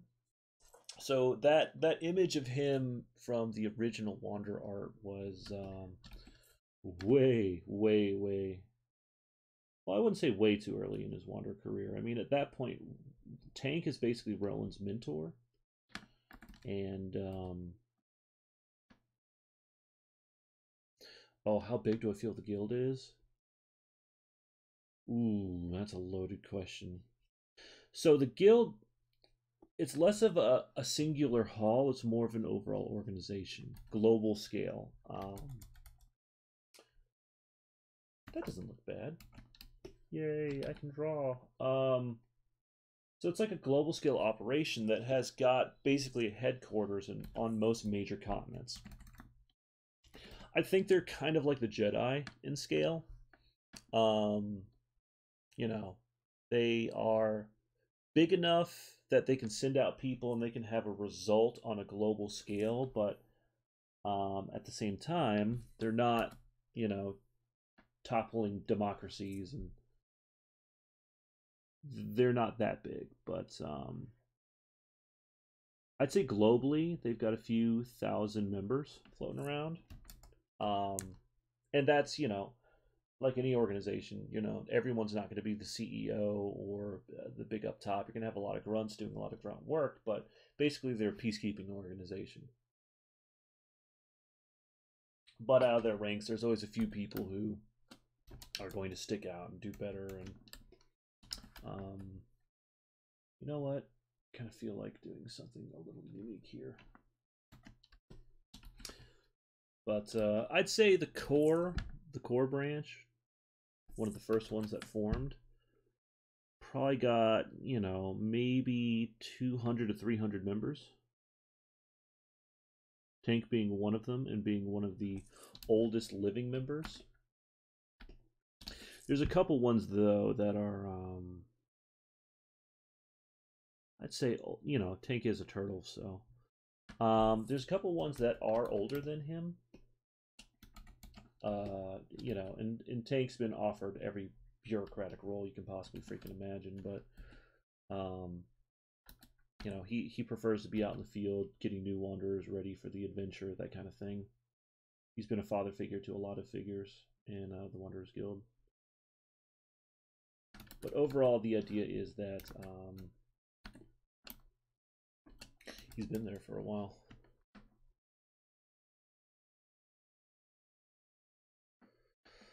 Alluria. Um, I think that was our overall world name. Um, when I was working on the um, oh yeah, Lorekeeper Valen. God, I love her. She's gonna be cool. So Lorekeeper Valen's almost like the. I don't know. She's she's always been a really a curious case for me. Oh yeah, hold on. Oop, nope, that's wrong. Pretend like you didn't see that. Um, yes, continue watching.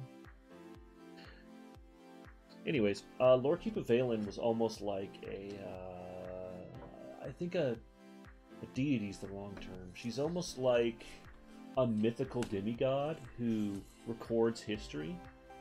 And she's found that the Wanderers Guild is like basically making history constantly. So she offers her services uh, to them, and you know she's she's not owned by the Wanderers Guild. She doesn't is does not run them anything like that.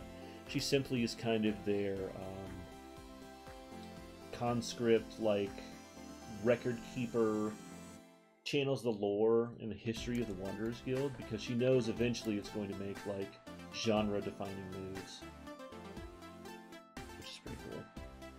But I always liked her. I always liked this like immortal creature that is of the old world, but the Wanderers Guild has been around long enough that she was basically, I wouldn't say a founding member, but she was definitely there before it existed.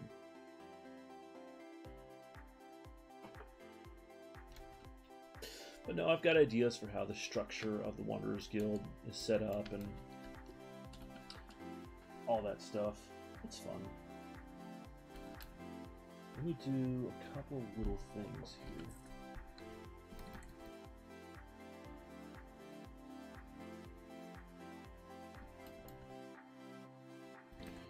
But yeah, we do eventually plan on expanding out the world and what that looks like.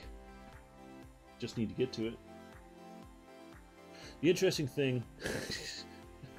exactly, toss a coin to your Lord Keeper. Perfect.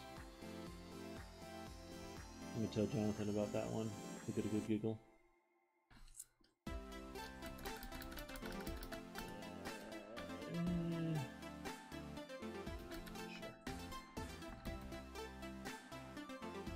Sure. Um, I don't know. I think Alluria is just it's kind of a set piece. Like there's an overarching thing going on right now in the world. Um, you know, there's a war brewing. There's evil afoot. It's one of those things that's like things are starting to happen, and it should be a pretty big concern to most people involved in the world.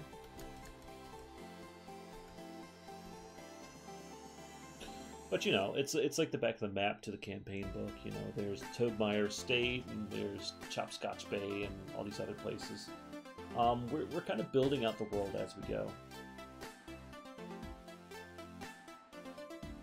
You know, there's other continents and other lands and other places. There's the north and south and things that we just haven't gotten to yet, but we will. I hope we will. Kind of sad if we didn't. It's a big world. There's a lot of lore that can go into a lot of different places, and I hope we get a chance to visit them all.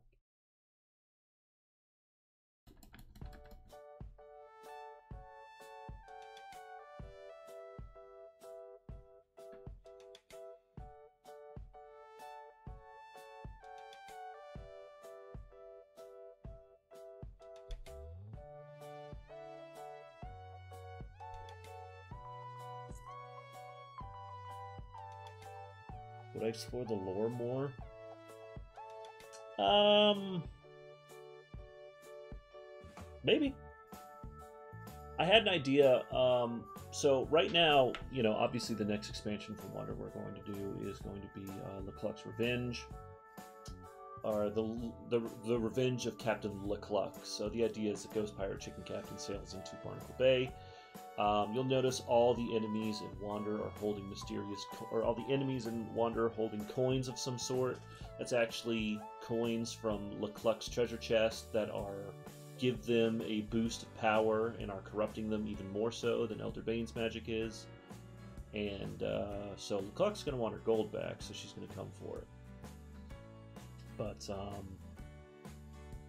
yeah, uh, I think the the war overall, I think it's already over by the time we see our heroes in Barnacle Bay. But um, you know, there's things even the Wanderers Guild can't see and can't predict and um, I think the war is going to eventually have repercussions. We had an idea. I had an idea to eventually do something where uh, the Wanderers Guild assaults the capital because basically a general who is corrupt, the one that you know took Tank's hand, is trying to basically take over the kingdom for himself. So it'd be like us in a cityscape fighting knights and other things. I thought that could be an interesting setting. What made Elder Bane go bad? Well, Elder Bane was greedy. And uh, he had a thirst for power. And he also didn't like how he was kind of both a land creature and a sea creature at the same time because he's an amphibian.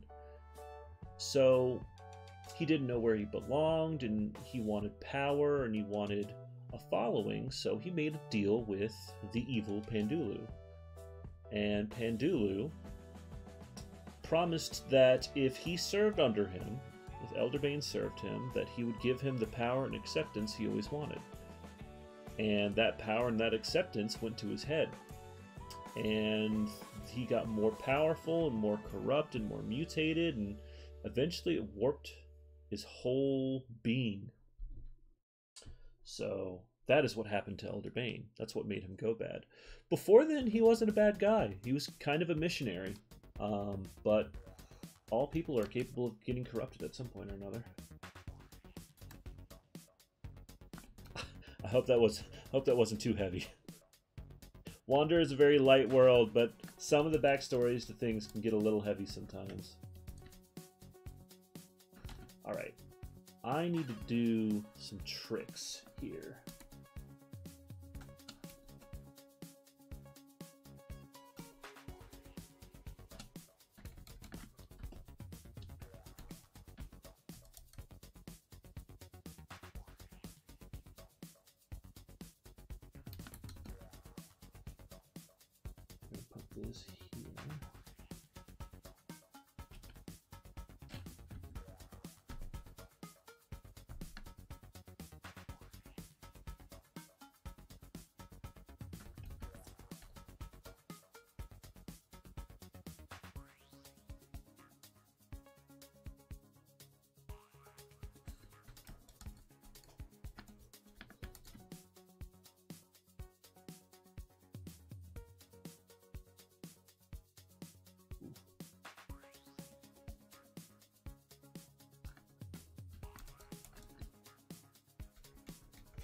Otter Grunt. Has to be the Otter Grunt. The Otter Grunt was just so fun. It was the first concept I really made for um, the game. It was like the first enemy I drew before Elder Bane, before anyone else. And he kind of set the standard for the whole visual thing. Uh, the Otter Grunt was by far one of my favorites. Um, let me. I'm pretty sure I can finish this guy today.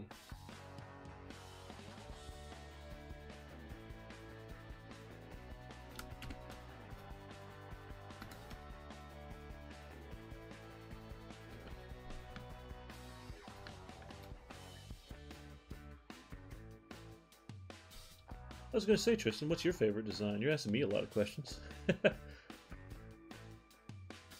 All right, I'll answer this one. If you go back five years give yourself an art tip, um, try traditionally painting because it'll make you think about art in different ways than just digital. I love digital painting. It's it's basically, I mean, it's giving me a freaking career, honestly. But um, the only thing I found is that over time,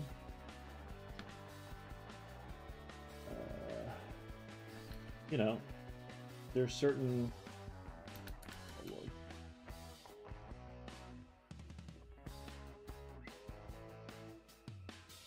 Sorry, this is kind of delicate work I gotta do. Watch that back by like 70. Um.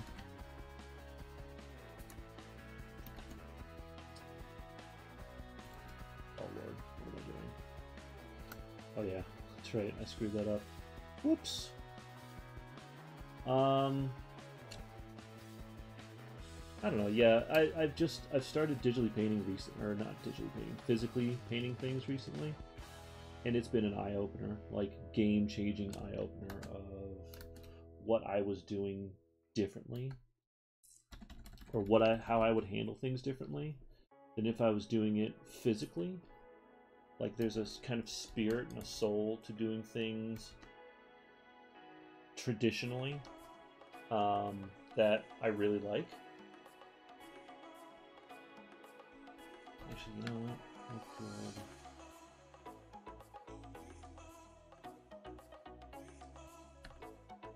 Yeah, the Lady Otters. I was a big fan of the Lady Otters too. I think they were fun. Something about the frying pan and the cartoony nature of one of them just smashing you in the head.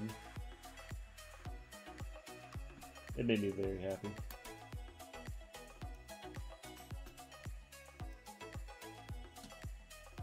I'm glad Bebo was your favorite art. I, I was very proud of her. It was just fun. It was the idea of this like cat warlock with her little minion running around and. Actually, you know what?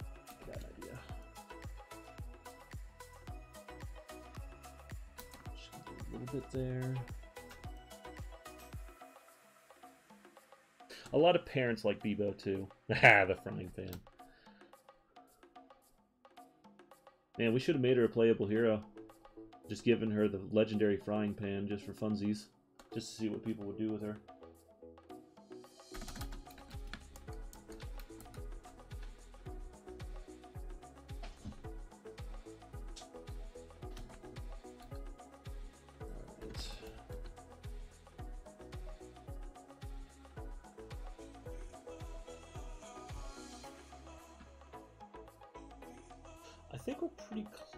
Done.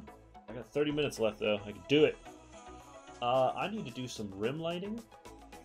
And. Hmm. I could go blue or I could go peach. I think peach would be pretty cool. Also, I think we need to notch this down a little bit more.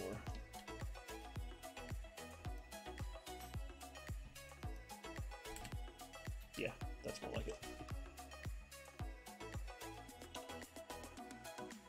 Paint job is in Elizabeth Beckley's amazing miniature painting, or are you talking about me getting a chance to color something?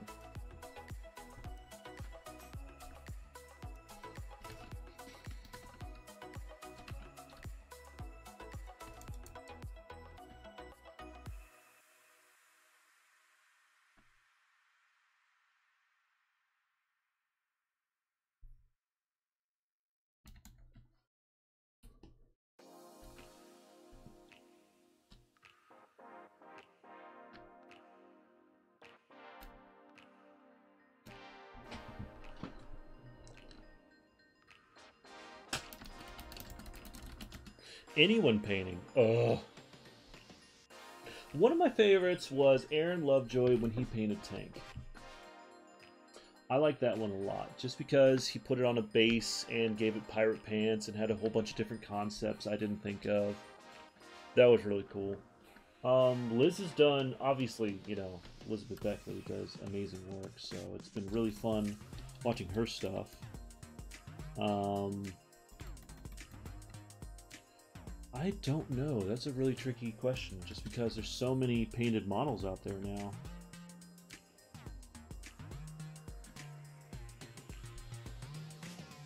Yeah, I've seen people do Red Mohawk. I've seen people do some interesting things with Finn. I think that was Ian. Did really interesting stuff with Finn. Um, sorry, this is going to start going a mile a minute here, so sorry if I get a little spacey there, Tristan. Um,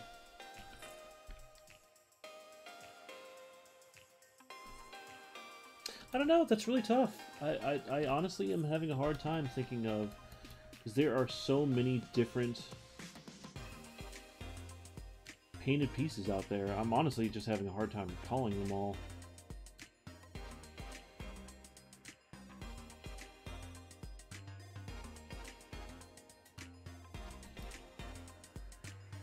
By the way, if anyone ever does this, I'm gonna love them to death.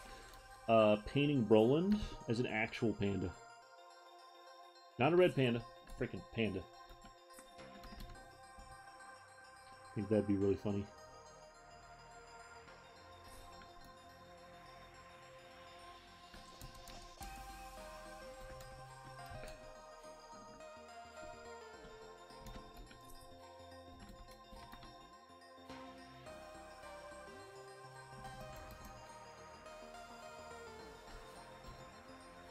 Sorry, I'm adding like Final Fantasy lighting to this thing.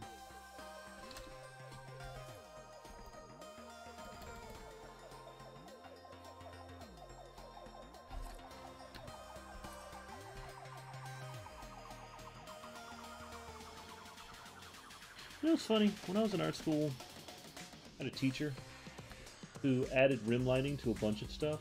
Exactly what I'm doing right now. And um, I don't know why, but a lot of students said, oh, so-and-so, she's all about that rim lighting. Yeah. Why wouldn't you be? Rim lighting's awesome. Do you like things having a second light source and looking cool all the time? I'm biased, I use it all the time.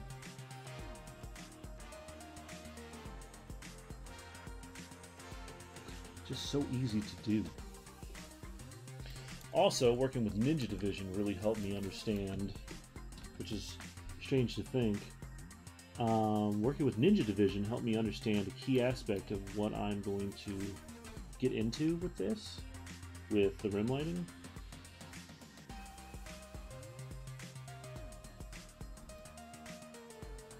Which I also love how Facebook disconnected. I've got to figure that out. It's okay, nobody cares anyways. Um,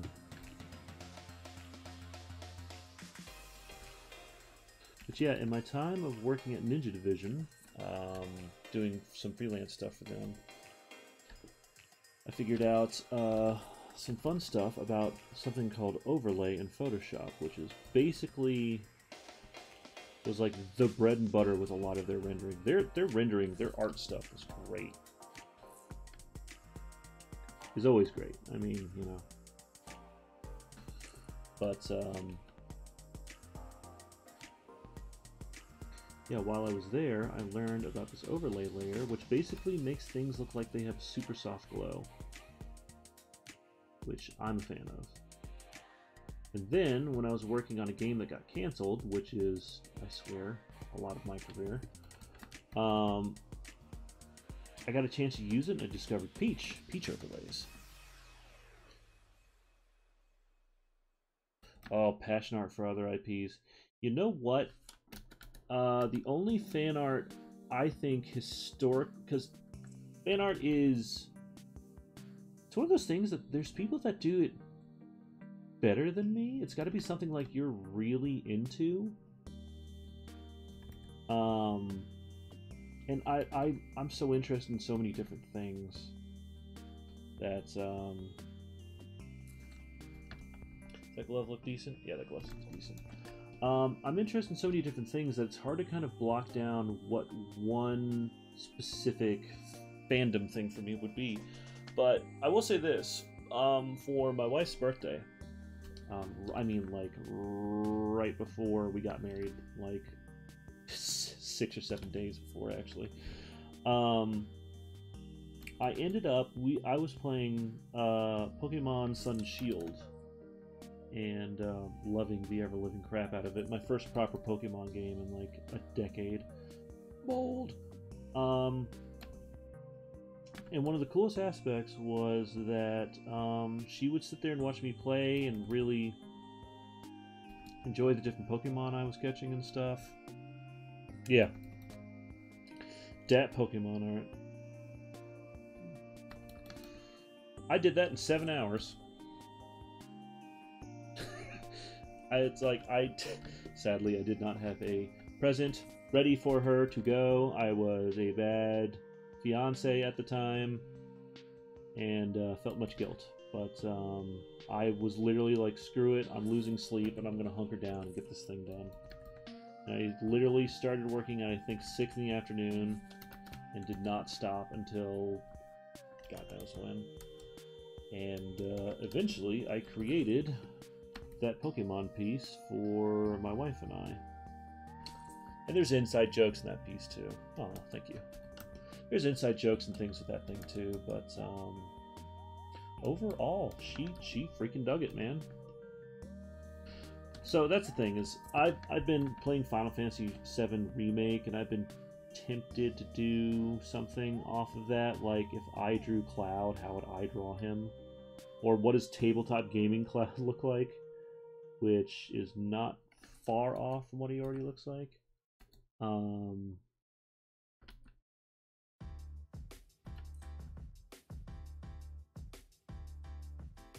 but uh, I don't really get into fandom projects much.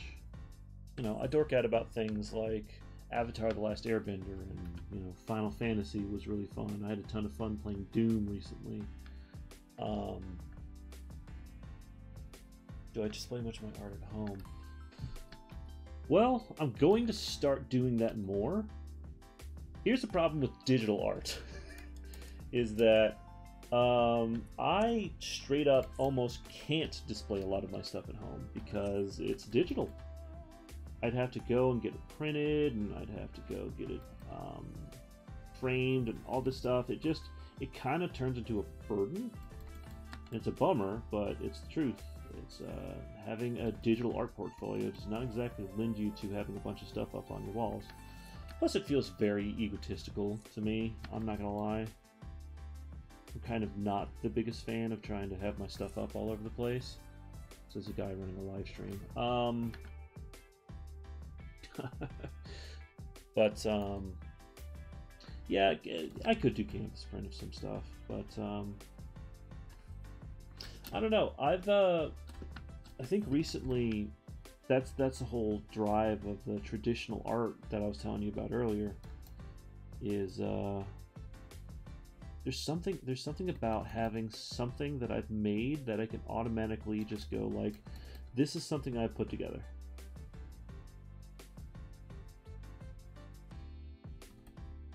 Like this is something I made and I finished it today and I can go and hang it up today. That's pretty rad.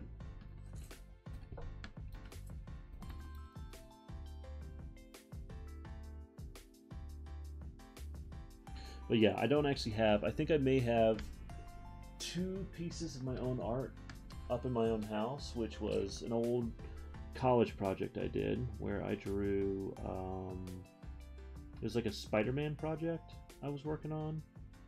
Um, senior project in college, so nothing official. God, I'd love to have official Spider-Man art on my walls. That'd be rad. Um, but yeah, it's it's weird. I have this strange hang up where I think it's mildly egotistical to have your own art on your own walls. Like, you know, if you make a physical piece, you know, that's that's something nice. But I feel like if I go to the trouble of doing something digitally then print and frame and do all that stuff, just feels like a lot. I've got thousands of boxes out in the world with my art on it. You know, I don't need one in my home.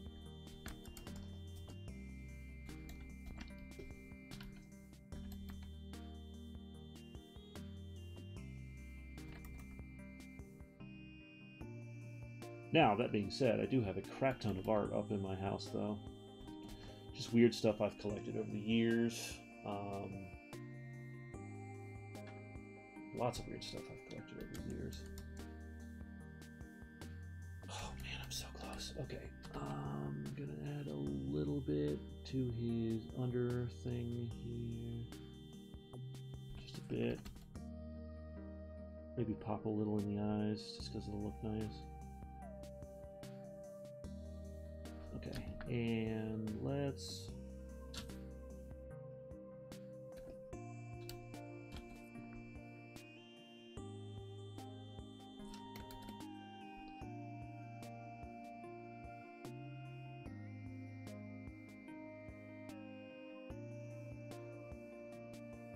All that.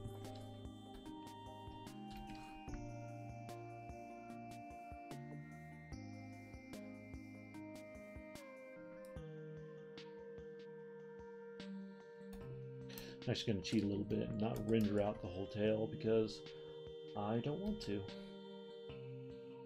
Oh, who came up with the LeCluck idea? Jonathan, 100%.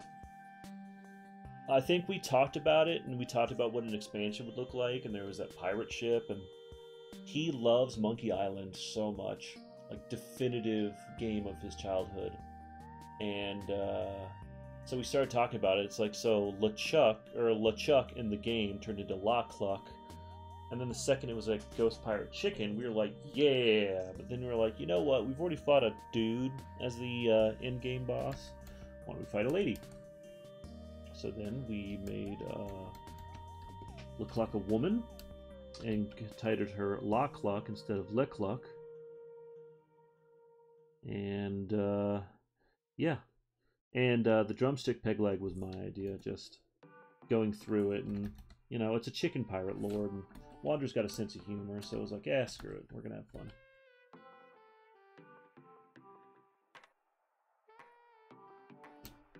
Yeah, I kind of don't like that.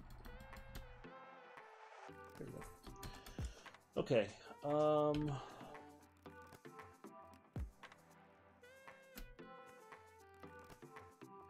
We're going to call this uh, overlay layer. Oh yeah, Jonathan. Jonathan forced me to play the first. Yeah, it's great. I liked all parts of Monkey Island. It was it was fun. Okay, we're gonna put this on overlay. Gonna notch this down about forty percent and.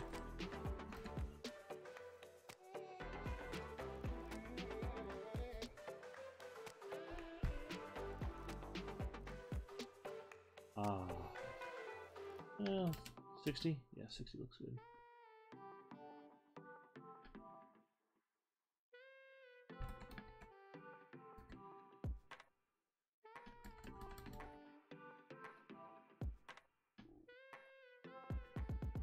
This is going to be super subtle overall. But overlay just kind of pops things.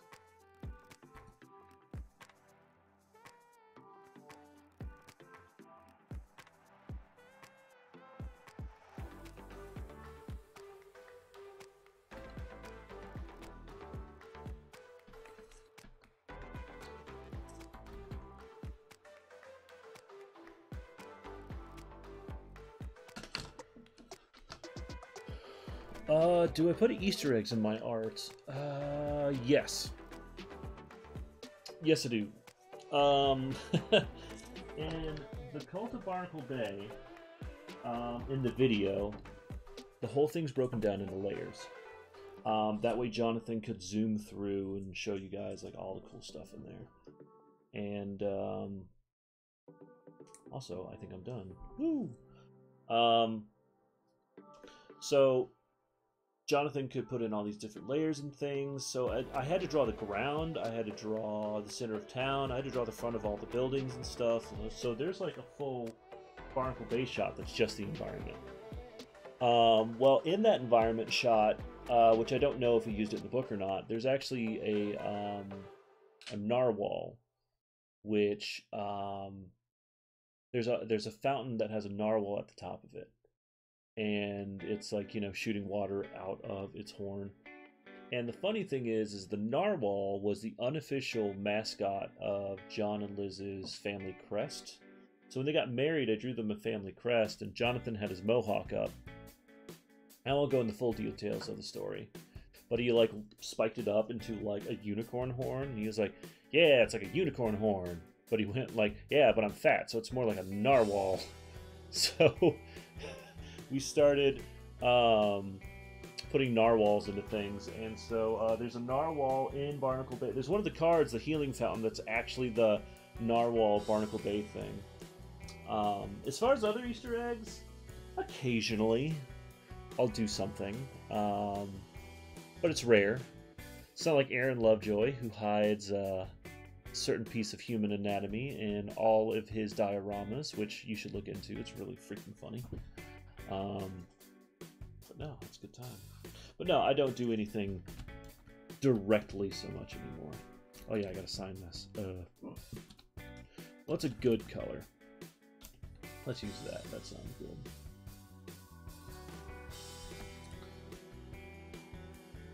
All right.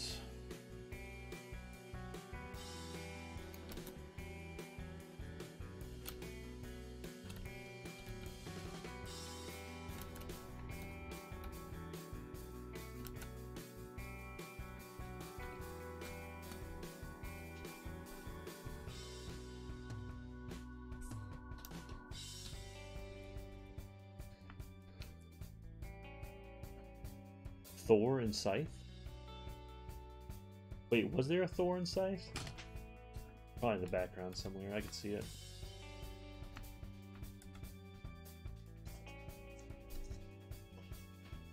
All right.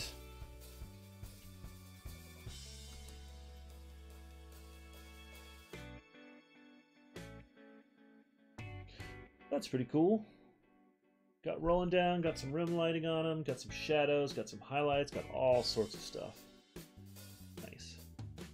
I wonder though, I got a couple minutes. Let's see if I can't uh, do something here. I was just talking about the uh, Barnacle Bay background. That's funny.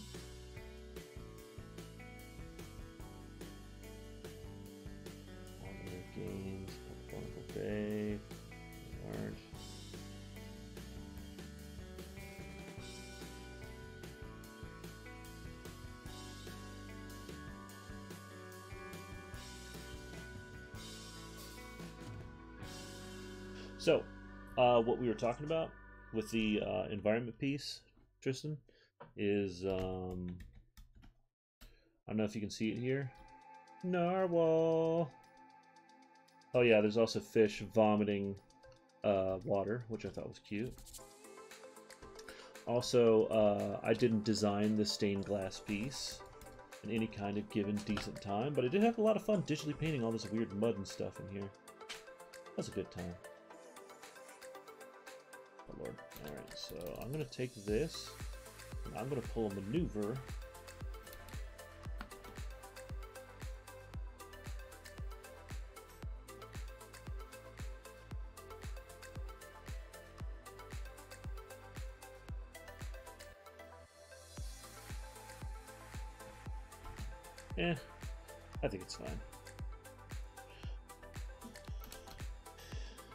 Anyways, I'm going to save this. I'm going to export out uh, the file. Whoop.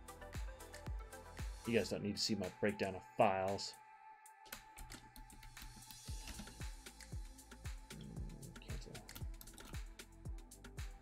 Mm. Eh, whatever.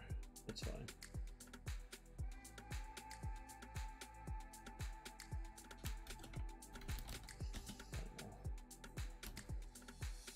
Nice.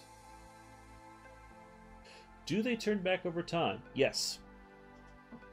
Wander isn't that dark that they're just permanently jacked up. Um, as soon as they're free of Elder Bane and Pandulu's corruption, um, they start transforming back slowly over time.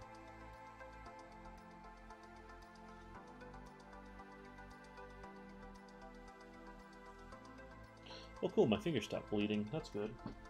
Had a mild incident doing a little house labor and sliced my pinky. It's fine. just a little blood. Um, okay, interesting. Thank you for the lesson, Photoshop. Um, but yeah. Anyways, uh, it is 3:57. I've wrapped up Roland uh, in an appropriate amount of time, which I'm very proud of. Um, very happy with how he turned out. Uh, Tristan, like I said, I will be working on your stuff next. Actually, that was a question I wanted to ask you. If you're still tuned in, um, would you be okay if I worked on your design for the live stream? I think it'd be something interesting.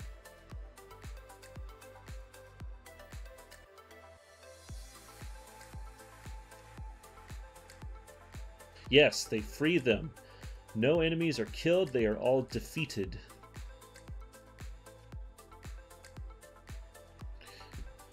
If I'm right, I, if I remember right, I think Elder Bane... Oh, awesome, man. Thank you. Well, I will get to that uh, the next time I stream, which should be Wednesday or Thursday. I'm thinking about cutting this to two times a week, but we'll see. Um, yeah, I, I believe Elder Bane ends up taking himself out by like the the building collapsing in on him. I can't remember though, to tell you the truth.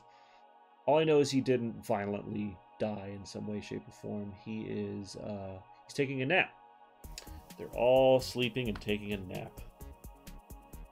They all went to a farm upstate. all right. Well, anyways, that is it. Um, I'm sure we'll talk more, uh, Tristan, about the uh, uh, commission uh, off the stream. But um, shorthand, thanks for sticking in and talking to me for a while. This has been delightful. Um, but until the next time, uh, take it easy, guys. Uh, make sure to like and subscribe my channel, and I'm on Twitch as Heathasaurus Art. H E A T H A S A U R U S Art. I'm also on Instagram and on Facebook as Art of HF. Um, I'm going to be posting all of my acrylic painting pieces, which I'm stupid proud of, on there. So make sure to go and check it out. And uh, until next time, take it easy, guys. And yeah, like Tristan said, be safe, stay indoors, be smart, wash your hands, uh, don't cough on people. Don't lick ice cream. Uh, don't stick your finger in sockets. Uh, be careful with knives. Band aids are good. All that kind of stuff. All right, take it easy, guys.